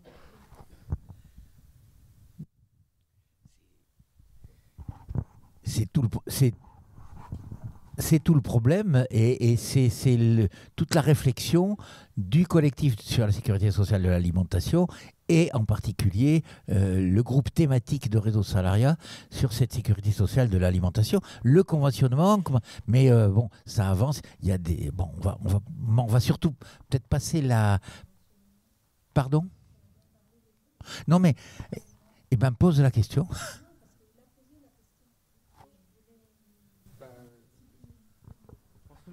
Ben vas-y. Moi, je, parle pour Réseau Salariat parce que je connais ça. Donc, au niveau des conditions de conventionnement, il y a évidemment, pour ce qui est de la production, euh, pas de pesticides, pas de produits euh, mauvais. Pardon? Ah d'accord. Euh, ça c'est bon, là pas de produits mauvais, pas de pesticides. Il y a aussi, alors là c'est spécial réseau salariat, il y a que les personnes qui travaillent là, au niveau production, hein, parce qu'après il y a la transformation, la distribution.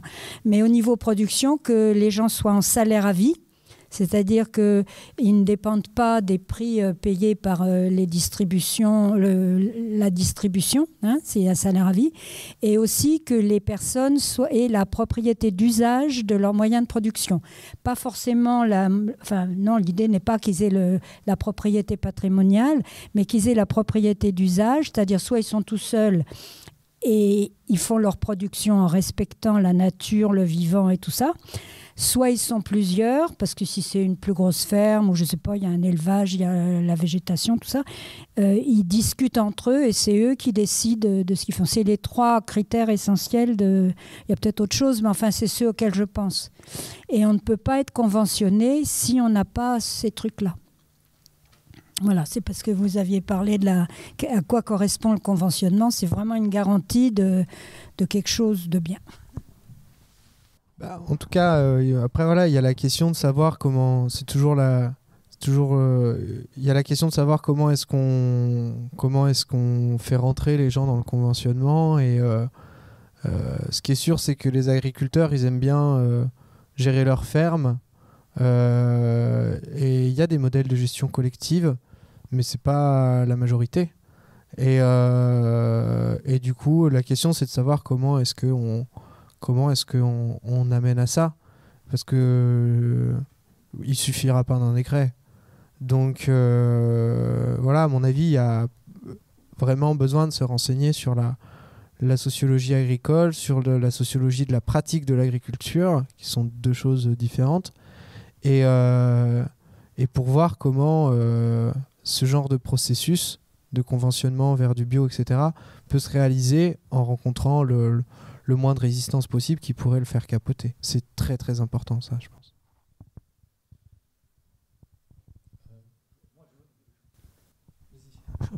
Je, peux en parler, mais ce qui serait bien, c'est qu'il y ait d'autres propos et d'autres questions dans la salle.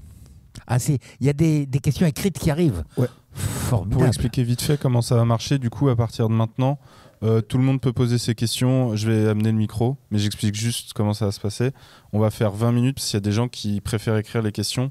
Il faut qu'ils aient le temps aussi après euh, qu'on lise les questions qui ont été notées. Donc on va commencer par les questions des gens qui veulent commencer à l'oral. Et dans 20 minutes, je lis les questions écrites. Et puis après, on recommence à poser des questions orales et ainsi de suite.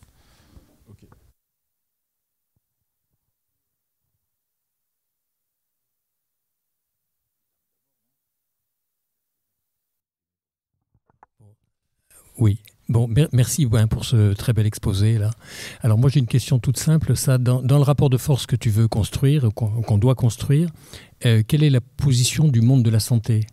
Et par exemple comme euh, une position euh, officielle du type de l'OMS sur les pesticides, etc.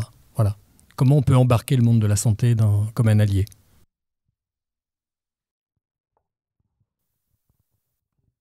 Ok. Alors, il se trouve que parmi euh, nos partenaires euh, financeurs, il y a une mutuelle, qui est euh, la mutuelle familiale, qui est une mutuelle qui était, qui était assez impliquée dans, le, dans la résistance et qui est, un, qui est de nos premiers partenaires. Ça fait trois ans qu'ils nous suivent en, conventionnement. et alors voilà, ils ont cette, cet engagement sur la question de la santé environnementale. Donc c'est à ce titre-là qu'ils qui soutiennent notre Tour de France. Euh, parce qu'on fait un tour de France, on va projeter le, film, on va faire des colloques, etc. Et on a eu déjà eu pas mal l'occasion d'en discuter. Et il se trouve que j'étais aussi il y a deux jours avec d'autres présidents de mutuelles, etc.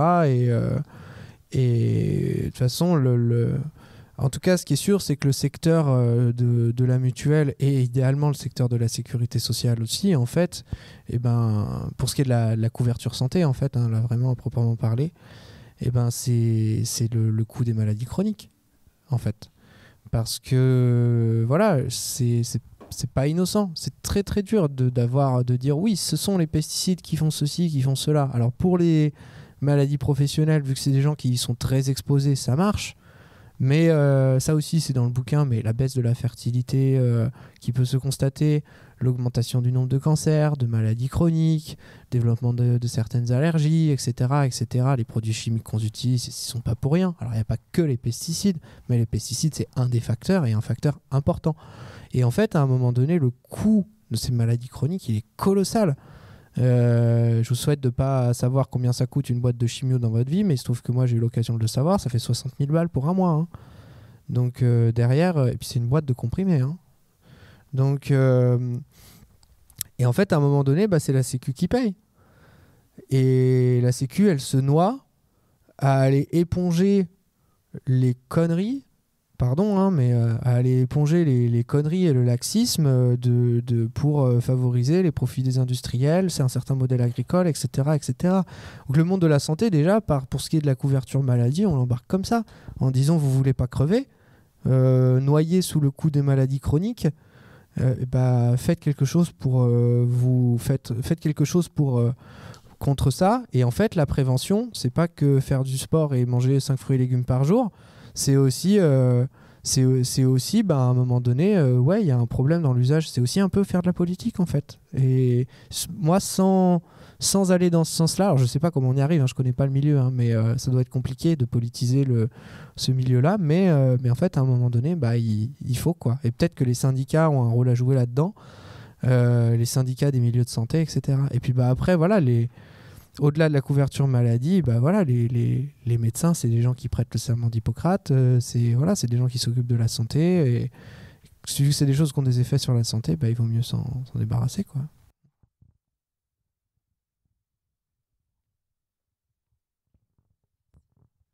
Bonsoir, merci. Euh, moi, j'avais une question plus par, euh, par rapport à vous, votre organisation dans Secret Toxique c'est comment vous arrivez à vous former en tant que militant et militante, euh, avec quels moyens économiques, euh, techniques vous arrivez à, comprendre, enfin, comment dire, à, ouais, à être formé sur ces enjeux qui sont ultra complexes, euh, comme tu l'as dit, et, comment vous arrivez à accéder en fait à ces connaissances-là? Alors, il faut savoir qu'au final, dans la diffusion de l'information, on a un fonctionnement en tâche d'huile.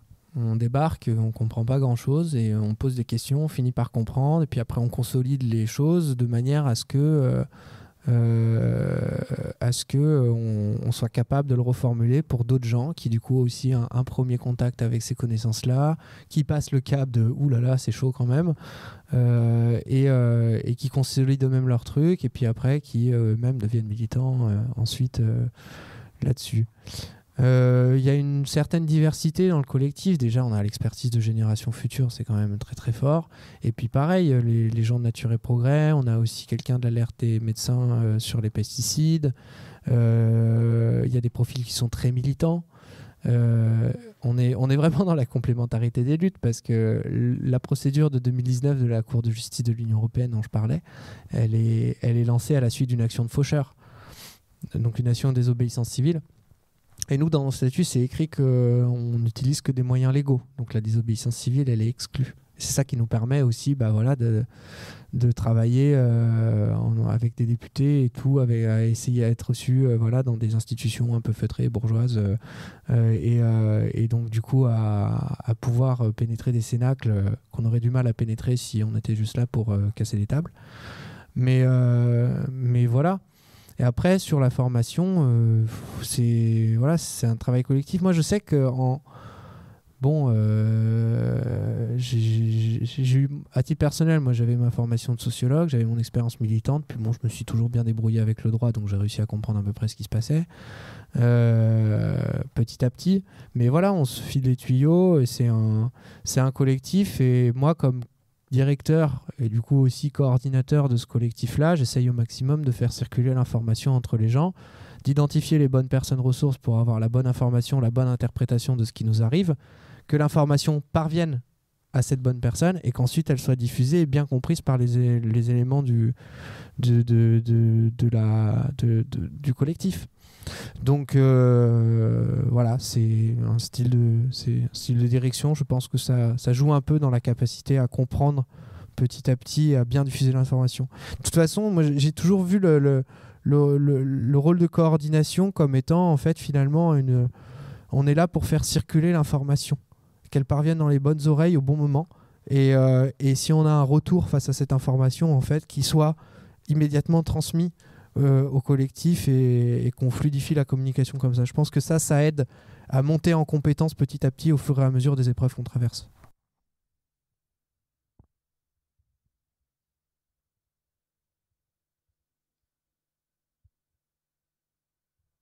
Bon, on peut prendre un peu d'avance sur les questions.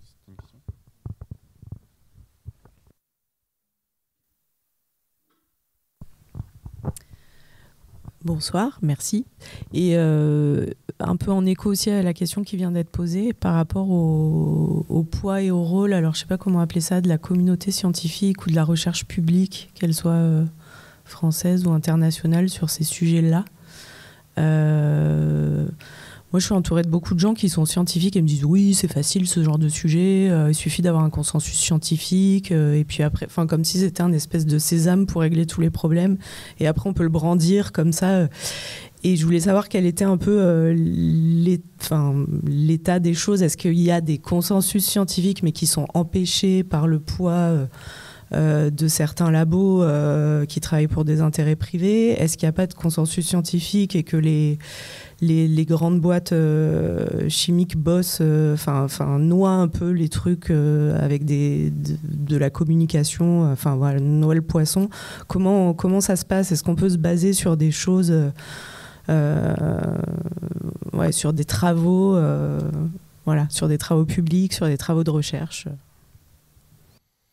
Alors, oui, pour ce qui est pour ce qui est du, consensus scientifique, je voudrais juste revenir très vite fait sur la question d'avance. J'ai quelque chose qui m'est revenu en tête et je te réponds juste après. Il euh, faut savoir que sur ce sujet-là, euh, au début de la campagne, au bout de trois mois, euh, au bout de trois mois, je me suis rendu compte qu'il y avait deux écueils sur le sujet en termes de communication, justement, de pédagogie. Le premier, c'est que c'était super technocratique. Vous avez vu, j'ai déjà passé 20 euh, minutes au début à vous expliquer l'UE, machin, les trucs, et encore, j'ai fait simple, euh, et, c'était déjà euh, sans doute assez comme ça. Et, le, et deuxième, le deuxième, c'est que quand on percute le truc et les conséquences que ça peut avoir, il y a une forme de réaction de, de, de déni. Il y a une forme de... Ça choque, quoi. Du coup, on n'a pas envie de le voir, quoi. Et ça se comprend quelque part. Euh, et donc, il faut naviguer entre ces deux écueils de l'aspect technocratique euh, pénible que personne n'a envie de se farcir et, euh, et donc et, et cet, aspect un petit peu effrayant. Et justement, moi, après trois mois, essayer d'aller voir des gens en leur disant si, si, il faut s'intéresser à le système d'homologation des pesticides, c'est très très important, la manière dont les produits sont évalués, pouf, la personne était partie quoi. Et, et, en fait, on s'est dit, bah, on va faire un film, comme ça on enferme les gens dans la salle, tac, on ferme la porte, ils peuvent plus partir. Non, mais en vrai, on a essayé de faire un truc qui se, qui, qui se regarde bien, qui soit fluide, qui donne de l'espoir. Euh, et bah, après, c'était un outil voilà, qui nous permettait d'expliquer le problème en, en, faisant un peu avancer les choses. Et bon, jusque-là, ça marche pas trop mal parce que ça fait deux ans et ça continue à tourner. Donc voilà. Pour ce qui est de l'aspect scientifique, en fait, justement, tout le monde se réclame de la science. Nous, on se réclame de la science. L'EFSA, elle se réclame de la science. Euh, et des consensus scientifiques. Euh, il y en a sur le. Voilà, j'ai parlé des méta-analyses de l'INSERM, de l'INRA IFREMER, etc., etc. Euh, Et, et en même temps, bah, l'industrie, elle produit aussi sa propre science. Et je veux dire, ça a toujours été un des mécanismes de production de l'ignorance. Ce qui fait qu'en fait, euh, ben, la vérité scientifique, euh, si tant est qu'une telle chose existe, hein, parce que moi, je, voilà, j'ai mes réflexions là-dessus, mais euh, en tout cas, la vérité scientifique, entre guillemets, ne se suffit pas à elle-même. Pourquoi? Parce que les questions, elles sont politiques. Et elles sont tellement politiques, parce que vous faites face à des monstres. Hein. Les géants de l'industrie chimique, c'est des, des, énormes boîtes, c'est des, des, trucs, des conglomérats immenses qui font peur à regarder. Donc, euh, donc, euh, donc en fait, c'est plus politique. Les raisons pour lesquelles aussi euh, l'État. C'est pareil dans la campagne, le droit, la même chose. Hein, il est instrumental. Il se suffit pas lui-même. C'est pas avec une. C'est pas avec une décision de justice qu'on obtiendra la fin des pesticides parce que euh, c'est de la même raison pour laquelle c'est pas parce que l'État est condamné trois fois maintenant, peut-être 4, 5, 6, 7, parce qu'il n'applique pas les, accords de Paris qui le condamnaient à des astreintes par le Conseil d'État, que les choses elles bougent d'autant plus vite. Alors ça aide à faire bouger les choses quand même, mais ça ne fait pas tout changer d'un seul coup, parce que les questions sont tellement politiques, avec tellement d'enjeux derrière, qu'en fait ça se résout sur le terrain politique. Et du coup, le consensus scientifique, bah, c'est une arme, c'est un argumentaire, mais... Euh, mais ça suffit pas. Je pense à Anatomie d'une chute, je sais pas si tu l'as vu du coup. Hein? Ouais, bah, enfin, moi je le conseille, c'était chouette. Bien mieux que la dernière Palme d'Or d'ailleurs, à mon avis. Bref, c'est personnel. Hein. La dernière, enfin, la Palme d'Or de l'année d'avant. Ah euh, mais bon, c'est mon avis. Et en fait, euh, justement, dans Anatomie d'une chute, il y, a, un procès. Et à un moment donné, les deux parties, elles, euh, produisent leurs experts scientifiques qui ont leur propre théorie. Nous, on fait la même chose en fait. C'est-à-dire que l'industrie, elle va produire ses experts scientifiques, nous, on va produire les nôtres. Et là, on est en train de chercher des témoignages. C'est pas facile à, récolter parce que personne n'a envie de s'exposer. Parce que derrière, on met en balance sa carrière, on met en balance ses budgets. Parler de Serralini, justement. Euh, Serralini, vous allez chercher. Euh, vous allez chercher euh, des infos sur Serralini sur internet, ça va pas être beau à voir. Hein. Il va, ça va vous faire peur. Vous dire, oulala, le gogo là qui a parlé pendant une heure, en fait, il est pote avec lui. ouais, mais en fait, il y a eu une grosse. C'est celui, Serrani, c'est celui qui avait fait les, les études sur les rats. Euh, voilà, tous cobayes, exactement. Et, euh, et donc, euh, en fait, il, y a eu, à la, à la, suite de la sortie de cette étude-là, il y a eu un gros, gros raid, et c'est des choses qui sont documentées par les Monsanto Papers, pour décrédibiliser son travail, qui du coup a été décrédibilisé sur des arguments qui, moi, me paraissent abusés. Quoi. Donc, euh, bref.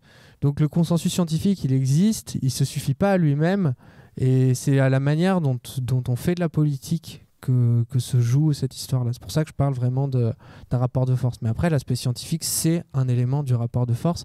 Et voilà, là, j'ai donné quelques références et il y a plein, plein, plein, plein de travaux qui peuvent vous montrer à quel point les pesticides, enfin voilà, ça ça a pas de sens, euh, voilà, sur plein de sujets assez différents.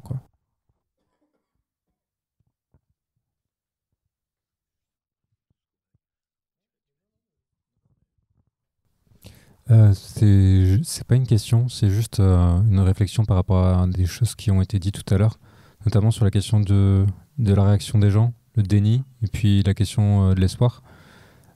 Moi, dans mon expérience, il y a aussi beaucoup eu la question du deuil, en fait, et qu'il faut accepter la question du deuil et que c'est difficile pour les gens d'avoir toutes ces informations. Euh, notamment parce que, un, ça casse complètement l'image d'épinal qu'on a quand on grandit euh, avec les petits bouquins sur euh, l'élevage et l'agriculture, avec la ferme, l'image d'épinal qui n'existe pas en fait, qui n'existe plus déjà, ou alors qui existe peu. c'est aussi le deuil de, des illusions qu'on a sur le système démocratique. Donc, enfin voilà, l'accompagnement du, du deuil, et que moi je trouve que quand il est pas forcément euh, on le prend pas forcément en compte faut pas s'étonner notamment qu'il y ait des gens qui rentrent dans le déni des gens qui sont pas capables de faire un, deuil euh, et de rentrer ensuite dans une phase plus constructive quoi.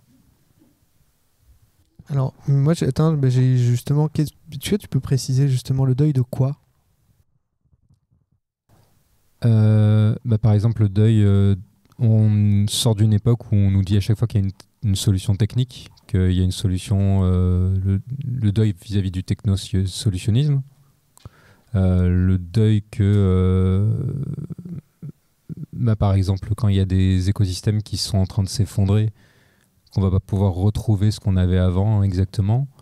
Moi, je sais que le, moment où j'ai eu un éveil écologique, ça a été plusieurs formes de deuil à chaque fois que je me suis rendu compte de certaines choses qui étaient euh, irréversibles.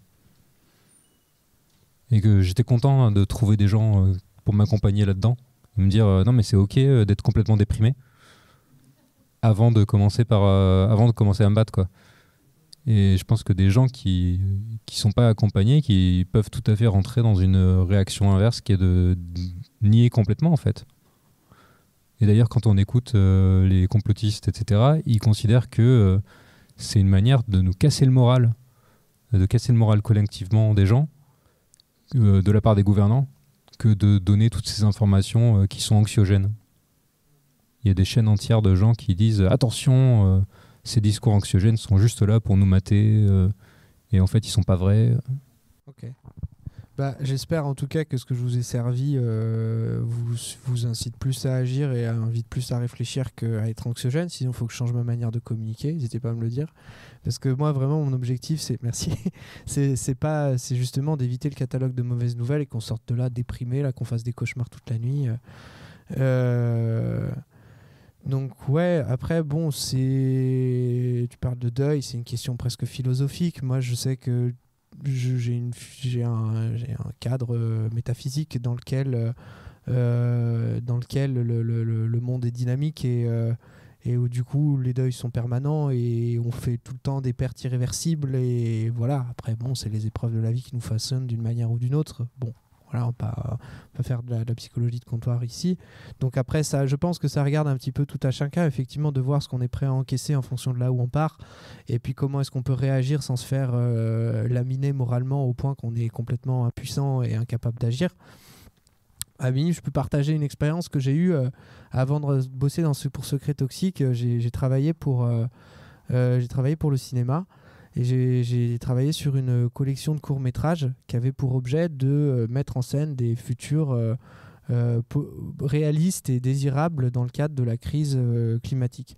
On disait on va essayer de mettre en scène des films dans lesquels dans lesquels eh ben, y aura, on, va se projeter dans 10 ans, dans 20 ans, dans un monde qui a pris au sérieux la crise écologique. On va voir un peu comment on vit. On va essayer d'envoyer le message euh, que ce soit euh, que voilà, c'est pas tout rose, mais en attendant, bah, ça vaut le coup de se battre aujourd'hui pour avoir ça demain, quoi. C'était un peu ça l'idée.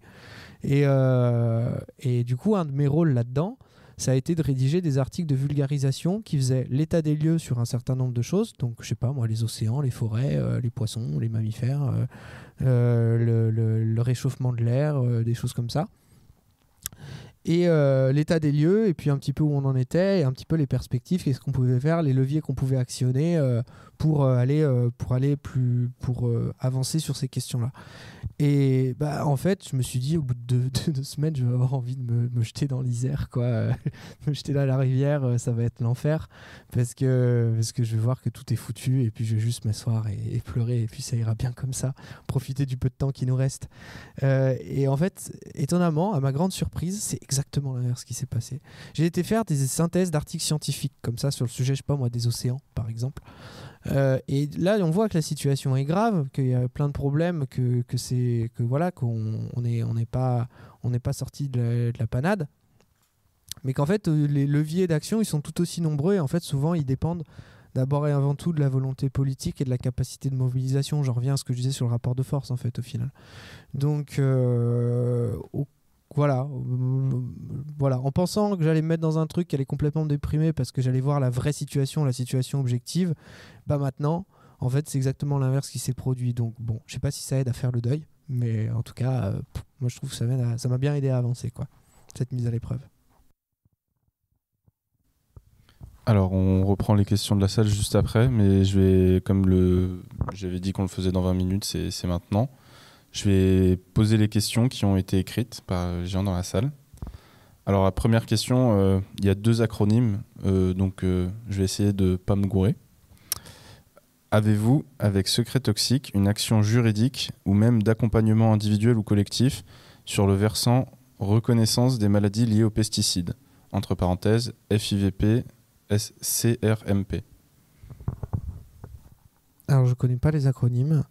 Mais euh, par contre, pour répondre à la question, euh, c'est alors non, nous directement non, parce qu'on est une organisation qui mène une campagne coalisant plusieurs infos, qui a un mandat clair, s'occuper de cette histoire d'évaluation des produits. Point. Ni plus ni moins, c'est déjà pas mal. Euh, par contre, il y a des assos qui s'occupent justement d'accompagner les, d'accompagner les, les, reconnaissances en maladies professionnelles des pesticides. Il y en a une qui est dans notre coalition qui s'appelle le collectif de soutien aux victimes des pesticides de l'Ouest, qui font un travail formidable. Euh, et qui euh, et voilà et qui s'occupent pas que des gens qui sont dans l'Ouest. C'est juste qu'ils sont basés dans l'Ouest à la base, mais voilà, n'importe qui peut aller les solliciter pour aller les aider. Parce qu'il faut savoir que dans le milieu paysan, c'est hyper tabou. Hein. Euh, parce qu'il y a un truc dégueulasse d'ailleurs dans cette histoire d'usage dans des conditions normales c'est qu'en fait, quand, vous avez une maladie professionnelle, étant donné qu'on est censé avoir prouvé l'innocuité des produits avant de les avoir mis sur le, sur le marché, ben en fait, soit on les a mal évalués, soit ils n'ont pas été utilisés dans des conditions normales d'utilisation. Donc du coup, si vous êtes malade, ben c'est que vous avez fait n'importe quoi avec les produits et que c'est votre faute. Donc en fait, on rend les malades responsables de leur maladie face à des produits qui sont vraiment mal évalués. Moi, ça m'écœure. Je trouve ça dégueulasse. Et, euh, et, donc voilà, donc il y a le collectif de soutien aux, victimes des pesticides de l'Ouest. Et il y a aussi Phytovictimes, évidemment, euh, qui, euh, qui fait aussi un travail non moins formidable euh, d'accompagnement des victimes. Alors les deux associations ont des philosophies un peu différentes, mais en tout cas, voilà, il y a des structures qui existent pour aider à faire ça. Pas nous, mais d'autres. Et deuxième question qui fait un peu suite, mais là qui est personnel, donc plus personnellement, comment est-ce que vous avez reçu la nouvelle de la première reconnaissance professionnelle d'une maladie liée à une exposition in utero aux pesticides Là, on parle du cas de, Théo Gratalou. Euh, voilà, c'est d'ailleurs c'est là, c'est pas que ça, c'est une des premières reconnaissances euh, de, de l'exposition euh, de d'effets néfastes dus à l'exposition à un produit au glyphosate. Euh, parce qu'il y a très très peu de maladies professionnelles qui sont reconnues du fait d'exposition au glyphosate. Il y a des multi-expositions, il y a des expositions uniques à certains autres produits, mais pour ce qui est du glyphosate, il n'y avait rien à peu près. En tout cas, à la connaissance justement du président du CSVPO à qui j'ai pu discuter de ce sujet. Et, euh, et donc voilà, bah, je, suis content, c'est une avancée en fait. Euh, enfin, je suis content. Toujours pareil, genre on est content, ouais, super. Enfin, mais c'est bien, pour euh, c'est bien pour la famille, c'est bien pour le, c'est bien pour Théo. Euh, qui en fait c'est un enfant qui, si vous voulez, ce qui s'est passé, c'est que il est, il est, il est né, c'est quelqu'un qui est né avec des, malformations, euh, dont la mère est à une, qui en Isère, qui s'appelle Sabine Gratalou, qui a une, qui avait une, un, un hara, c'est ça, genre, enfin des, des chevaux, voilà un rat, ouais, qui avait un rat avec des chevaux et qui et qui a pulvérisé du Roundup alors qu'elle était enceinte. Je crois qu'elle savait pas qu'elle était enceinte à l'époque euh, pour désherber euh, son pour désherber quelque chose sur sa parcelle. Et, euh, donc son fils est né avec des tas de malformations qui font qu'ils ont dû lui faire une trachéotomie de naissance. Et, et voilà, c'est quelqu'un qui touche beaucoup quand on le voit. Donc le fait qu'effectivement qu'ils aient gagné euh, une reconnaissance euh, de, du fait que cette maladie était due à l'exposition au glyphosate, bah oui, c'est une avancée. C'est c'est pas vraiment une raison de se réjouir parce que c'est dur de se réjouir de choses comme ça, mais en attendant, en tout cas sur le plan juridique, c'est une avancée.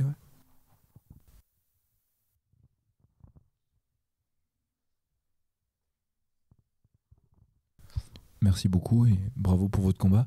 Euh, vous avez parlé de la démocratie représentative et certaines de ses limites.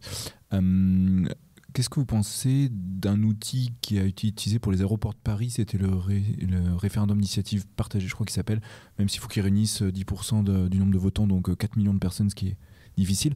Mais ça avait quand même bloqué, je crois, la, vente des aéroports de Paris. Est-ce qu'une procédure comme ça, sur un sujet quand qui fait beaucoup l'actualité, où il y a, je pense, quand même un une relative prise de conscience, enfin même plus relative mais assez, assez forte.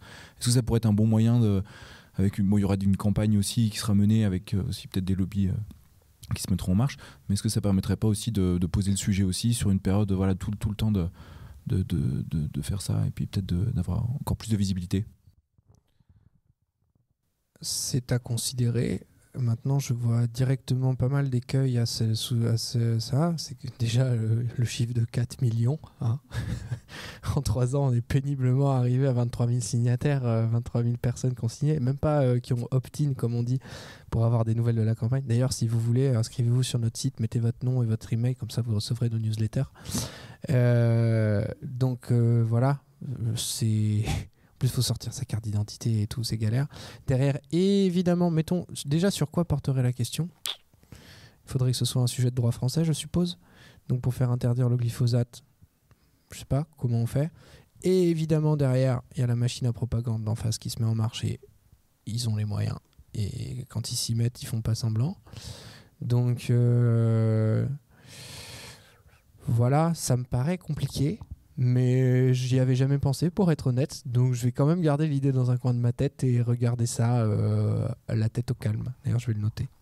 Merci de la suggestion.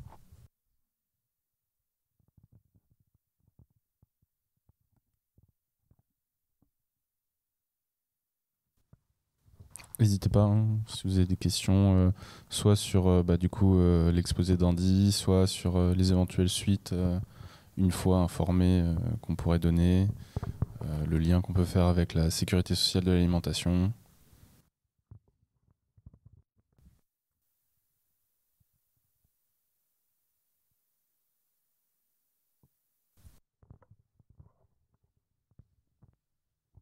Peut-être un petit peu plus anecdotique, mais euh, on aime les anecdotes. Euh, non, mais par rapport au film dont tu parlais, que, que vous avez fait là, euh, il est sorti, donc il est autoproduit et, euh, et sur YouTube. Est-ce que c'était dès le départ la volonté ou est-ce que vous avez essayé de le proposer à des chaînes, à des productions Enfin, c'est voilà comment ça. Et est-ce qu'il a été refusé ou est-ce que vous n'avez pas essayé de le proposer à une diffusion télé ou, ou autre? Alors, c'est très artisanal cette histoire. c'est que, en fait, l'histoire, c'est que moi j'ai commencé en mars euh, 2021. En septembre, on se retrouve à, on se retrouve avec, euh, on se retrouve, on, travaille en visio. Le coprésident est en Aveyron, l'autre est en Ariège. Il y en a un qui est en Bretagne, une salariée en Bretagne. Enfin bref, tout le monde a éclaté dans toute la France. On travaille beaucoup en ligne. On s'était jamais vu en vrai. Donc du coup, euh, arrive septembre 2021. euh, euh, on se retrouve chez le coprésident en Aveyron, histoire de passer un week-end ensemble. Et puis euh, bah, la trésorière euh, me dit Ouais, prends ta caméra. J'avais fait deux trois vidéos comme ça. euh. D'ailleurs c'était pas ma caméra, c'est des potes qui me l'ont prêté. euh. prends ton appareil photo, euh, t'auras peut-être des choses à filmer. Euh, ouais bon ok, tu veux, je vais réfléchir. Et euh, je me suis dit tiens, j'ai profité qu'ils soient tous là, je vais faire des interviews. Comme j'ai comme j'ai fait de la socio, je, je sais faire en fait. Donc du coup, je vais faire des interviews, je les mets face caméra, on se met dehors, il fait beau, il y a des avions qui passent, faut couper, bref. Et, euh, et j'enregistre du coup les cinq personnes qui étaient là euh, euh, sur un entretien d'une demi-heure, trois quarts d'heure assez détente. Et puis il y a de belles choses qui sortent en fait. Dis non, il y a pas mal de matériel, on pourrait faire une vidéo assez longue, une demi-heure. Et là justement, je repense à ce que je vous ai parlé, là, cette histoire d'écueil, le fait d'avoir l'impression de réciter l'annuaire aux gens dès lors que je décris mon problème, enfin voilà. Et là où je me dis, ah, un film, ça peut être une solution. Je l'ai proposé au CA. Et ça, je dis oui, il faudrait que j'aille interviewer un tel et un tel, j'allais faire quelques images en plus. Mais ça se fait, on peut tenter le coup. Et du coup, ben, on a tenté le coup. Et j'ai fait le montage sur Reaper. Quasiment. J'ai pas tout fait. Après, il y a, y a le monteur qui, a fait, qui est passé derrière. C'est pas du tout fait pour ce genre de truc, c'était un cauchemar. Et, euh, j'ai fini le montage avant une, avant-première euh, dans un bus entre Saint-Etienne et Clermont-Ferrand. Alors il y avait des, des virages à gauche, à droite et tout. C'était ah ouais, infernal. Mais euh, donc du coup tout ça pour te dire que effectivement quand on a commencé à monter, en plus moi c'était mon premier film. Euh, quand on s'est dit bah moi pour moi on allait le mettre sur YouTube, le mettre à dispo, et on nous a dit, euh, on a commencé à dire Eh, pourquoi on le mettrait pas euh, sur des productions télé? Comment on fait ça? J'en ai aucune idée, j'en sais rien. Ça me paraît un peu gros, ils vont nous demander des trucs de format, je, je sais pas. Puis au final, on n'a pas réellement tenté. On n'a pas réellement tenté le coup, surtout parce qu'on savait absolument pas comment faire. Voilà. Mais après, si tu as des idées, on, peut s'écrire. hein.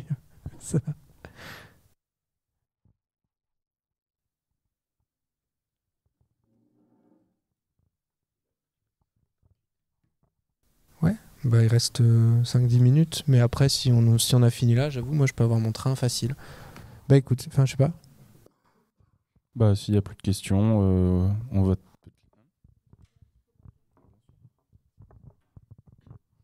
Oui, euh, notre camarade l'a posé la question de la démocratie et de comment on fait éventuellement participer les citoyens euh, au travers d'un référendum d'initiative partagée. Dans, ton bouquin, euh, tu fais référence à un moment donné à la Convention pour le climat et, tu, toi ou tes co-auteurs, hein, je ne me rappelle plus, et tu montres que, eh bien, dans cette convention, les citoyens tirés au hasard euh, donc euh, dans un exercice de démocratie hein, euh, où on décide en connaissance de cause, avait bah, par exemple décidé de la sortie d'une agriculture à base de pesticides. Mais évidemment, tu fais le constat que une fois qu'ils avaient pris la décision, ils n'avaient pas les moyens de sa mise en œuvre. je mets ça en relation avec ce que nous, on appelle le, conventionnement dans la sécurité sociale de l'alimentation, qui vise à euh, confier à ce qu'on appelle nous les caisses locales par analogie avec les caisses primaires d'assurance maladie. Euh, donc des caisses de citoyens travailleurs qui en fait euh, décident pour eux-mêmes de la politique. Alors sur, l'exemple de la, politique de la santé qui a été mise en place, mais là sur la, politique alimentaire, de définir selon quels critères et quels euh, manière, euh, on doit euh, produire l'alimentation, on devrait produire l'alimentation en France dans le cadre donc de cette fameuse filière conventionnée. Donc en fait, parmi les outils qu'on a vus à l'œuvre récemment, donc il y a effectivement ce référendum d'initiative partagée qui en fait n'a pas eu de résultat. C'est le Covid hein, qui a arrêté la vente des aéroports vous avez remarqué qu'en cas de pandémie, euh, l'activité aéroportuaire perd tout son intérêt hein, en termes économiques hein, et que la vente ne se justifie, et l'achat surtout, ne se justifie euh, qu'à condition de pouvoir le rentabiliser derrière. Donc c'est ça qui a tué en fait la vente d'aéroports de Paris. Mais ça va peut-être revenir, puisque apparemment on continue de faire voler beaucoup d'avions en ce moment, ce qui est un peu un paradoxe.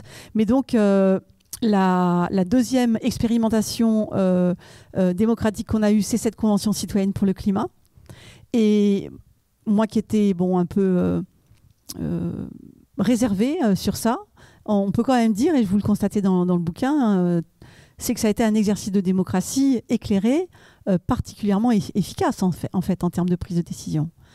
Et donc la SSA, c'est un peu ça, c'est faire des, des conventions pour l'alimentation à l'échelle locale, l'échelle régionale, l'échelle nationale, et aboutir à un conventionnement de toute une nouvelle filière à créer complètement.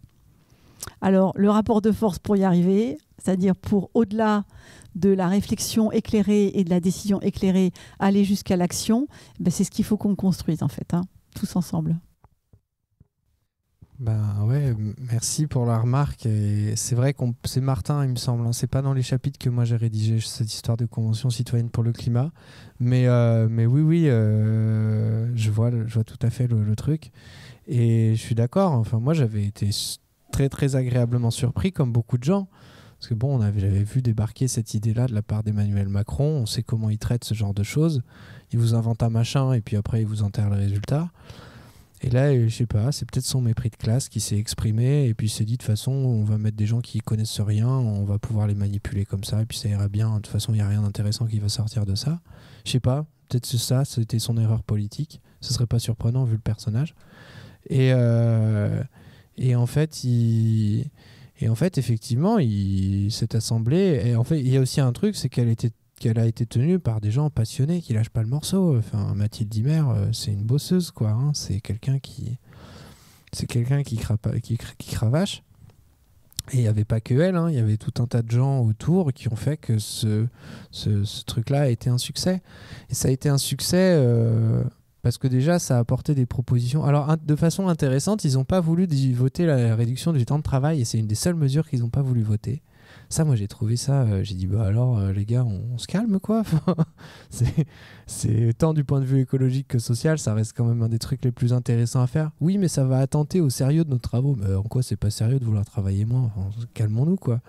Mais bon, en attendant, le reste était quand même assez intéressant pour vraiment valoir le coup. Et en plus, en quoi, je veux dire, ça a produit, ça a produit du consensus. Vous avez des gens qui étaient tirés au sort. Qui représentaient ce qu'ils représentaient, mais enfin, de la même manière que les politiques représentent ce qu'ils représentent quand ils sont élus.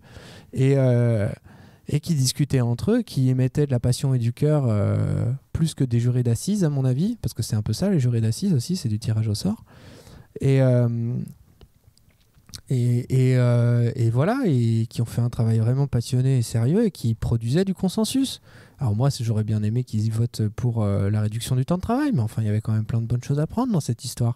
Et puis là, tu avais une ligne... euh, T'avais une ligne directrice avec des politiques euh, qui avaient vraiment un impact, qui résolvaient pas tous les problèmes, mais qui te permettaient d'avancer justement parce que les résistances au changement, elles pouvaient être vaincues par le fait que ça avait été pensé par des, par des citoyennes, des citoyens tirés au sort, et que du coup, les réflexions au travers desquelles ils étaient passés pour arriver à ces propositions-là, les gens, quand ils allaient sauter au plafond en leur disant 110 sur l'autoroute, c'est pas possible, quand il y allait avoir le débat, en fait, le, processus qui avait mené à cette mesure de consensus allait être reproduit. Donc on créait aussi de l'acceptabilité politique comme ça, en faisant des grands pas en avant sur la question climatique. C'était un trésor ce truc-là.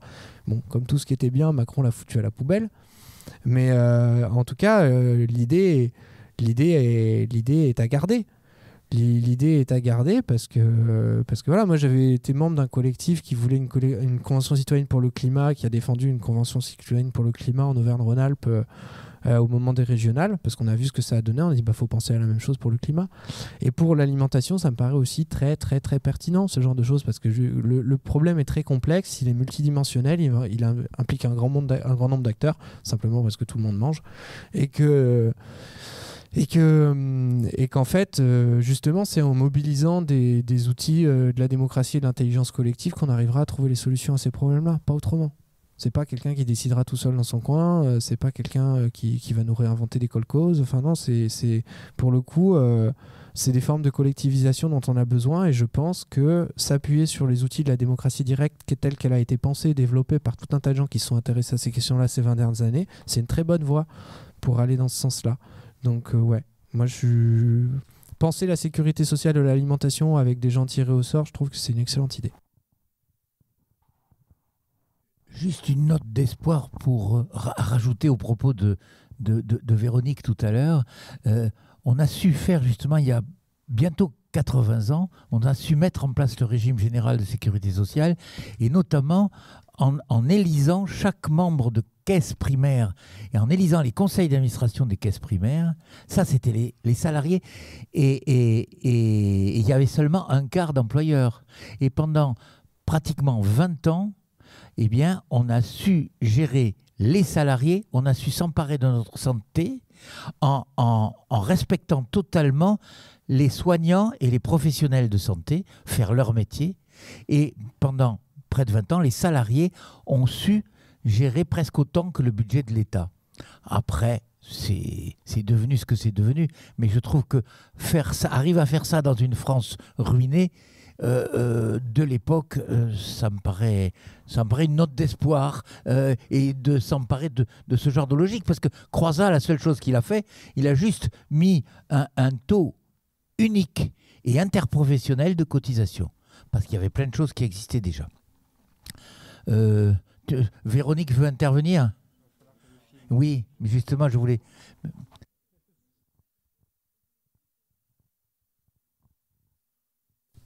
C'est bon là? Oui, c'est par rapport à la réflexion sur le temps de travail, euh, Andy. Euh, à Réseau Salariat, on a tendance à dire que c'est pas tellement la question du temps de travail qui se pose, qui va pas forcément baisser dans le type d'organisation qu'on veut mettre en place, l'organisation dé- démocratique en fait du travail, mais c'est que oh, il y aura un, temps de réflexion démocratique sur ce qu'on veut produire, comment on veut le produire, pourquoi on veut le produire, qui intégrera toutes les, enfin, qui est censé intégrer toutes les contraintes euh, écologiques qui s'imposent à nous, et que on continuera de travailler, mais une partie de ce travail, de ce temps de travail, sera considéré, sera dédié à la délibération démocratique et pas seulement à la production de biens et de services, mais au choix de, de quoi on produit et comment.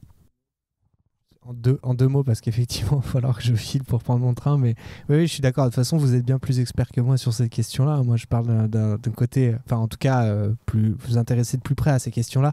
Euh, moi, la, réflexion, oui, je enfin, en tout cas, euh, c'est plus complexe et je caricature un peu, mais effectivement, il y a un côté. Moi, quand je me fais cette réflexion, c'est quand je vois le, productivisme, en fait, c'est aussi un, problème écologique. Euh, et la réduction du temps de travail, bah, c'est travailler un peu, c'est travailler moins. Et j'ai du mal à comprendre avec les gains de productivité qu'on se cogne depuis euh, des dizaines d'années, euh, pourquoi le temps de travail il se réduit pas à, voilà. Et, en fait, à un moment donné, bah oui, produire moins, bah, c'est aussi polluer moins. Donc, bref, mais justement, ça fait partie des choses dont le débat démocratique peut trancher, quoi. Je crois que nous allons laisser partir Andy. Euh, et surtout, euh, Andy, bravo et vraiment merci parce que c'était super.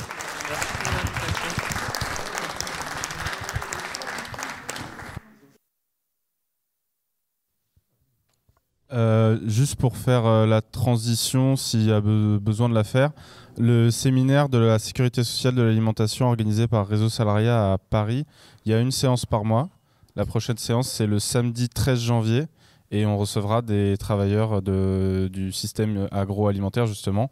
Donc euh, on va aller, euh, en- enfin, on va rentrer dans la construction politique avec les acteurs et actrices du secteur et, euh, ainsi et ainsi une fois par mois continuer à construire le, comment agir po- politiquement. Autre chose sur la question de la démocratie qu'on a abordée à la fin, Réseau Salariat euh, organise une séance sur la démocratie et les institutions euh, samedi 16 décembre. À quelle heure? 14h. Ça s'appelle l'Agora. Vous pouvez trouver sur, euh, Internet dans l'agenda militant aussi, euh, ou sur le site de Réseau Salariat. Donc à 14h, elle sera ici aussi. Et le 13 Petit, janvier. petit rappel que Andy me souffle dans l'oreille, n'hésitez pas à vous plonger dans les livres qui sont sur la table à la sortie. À très bientôt.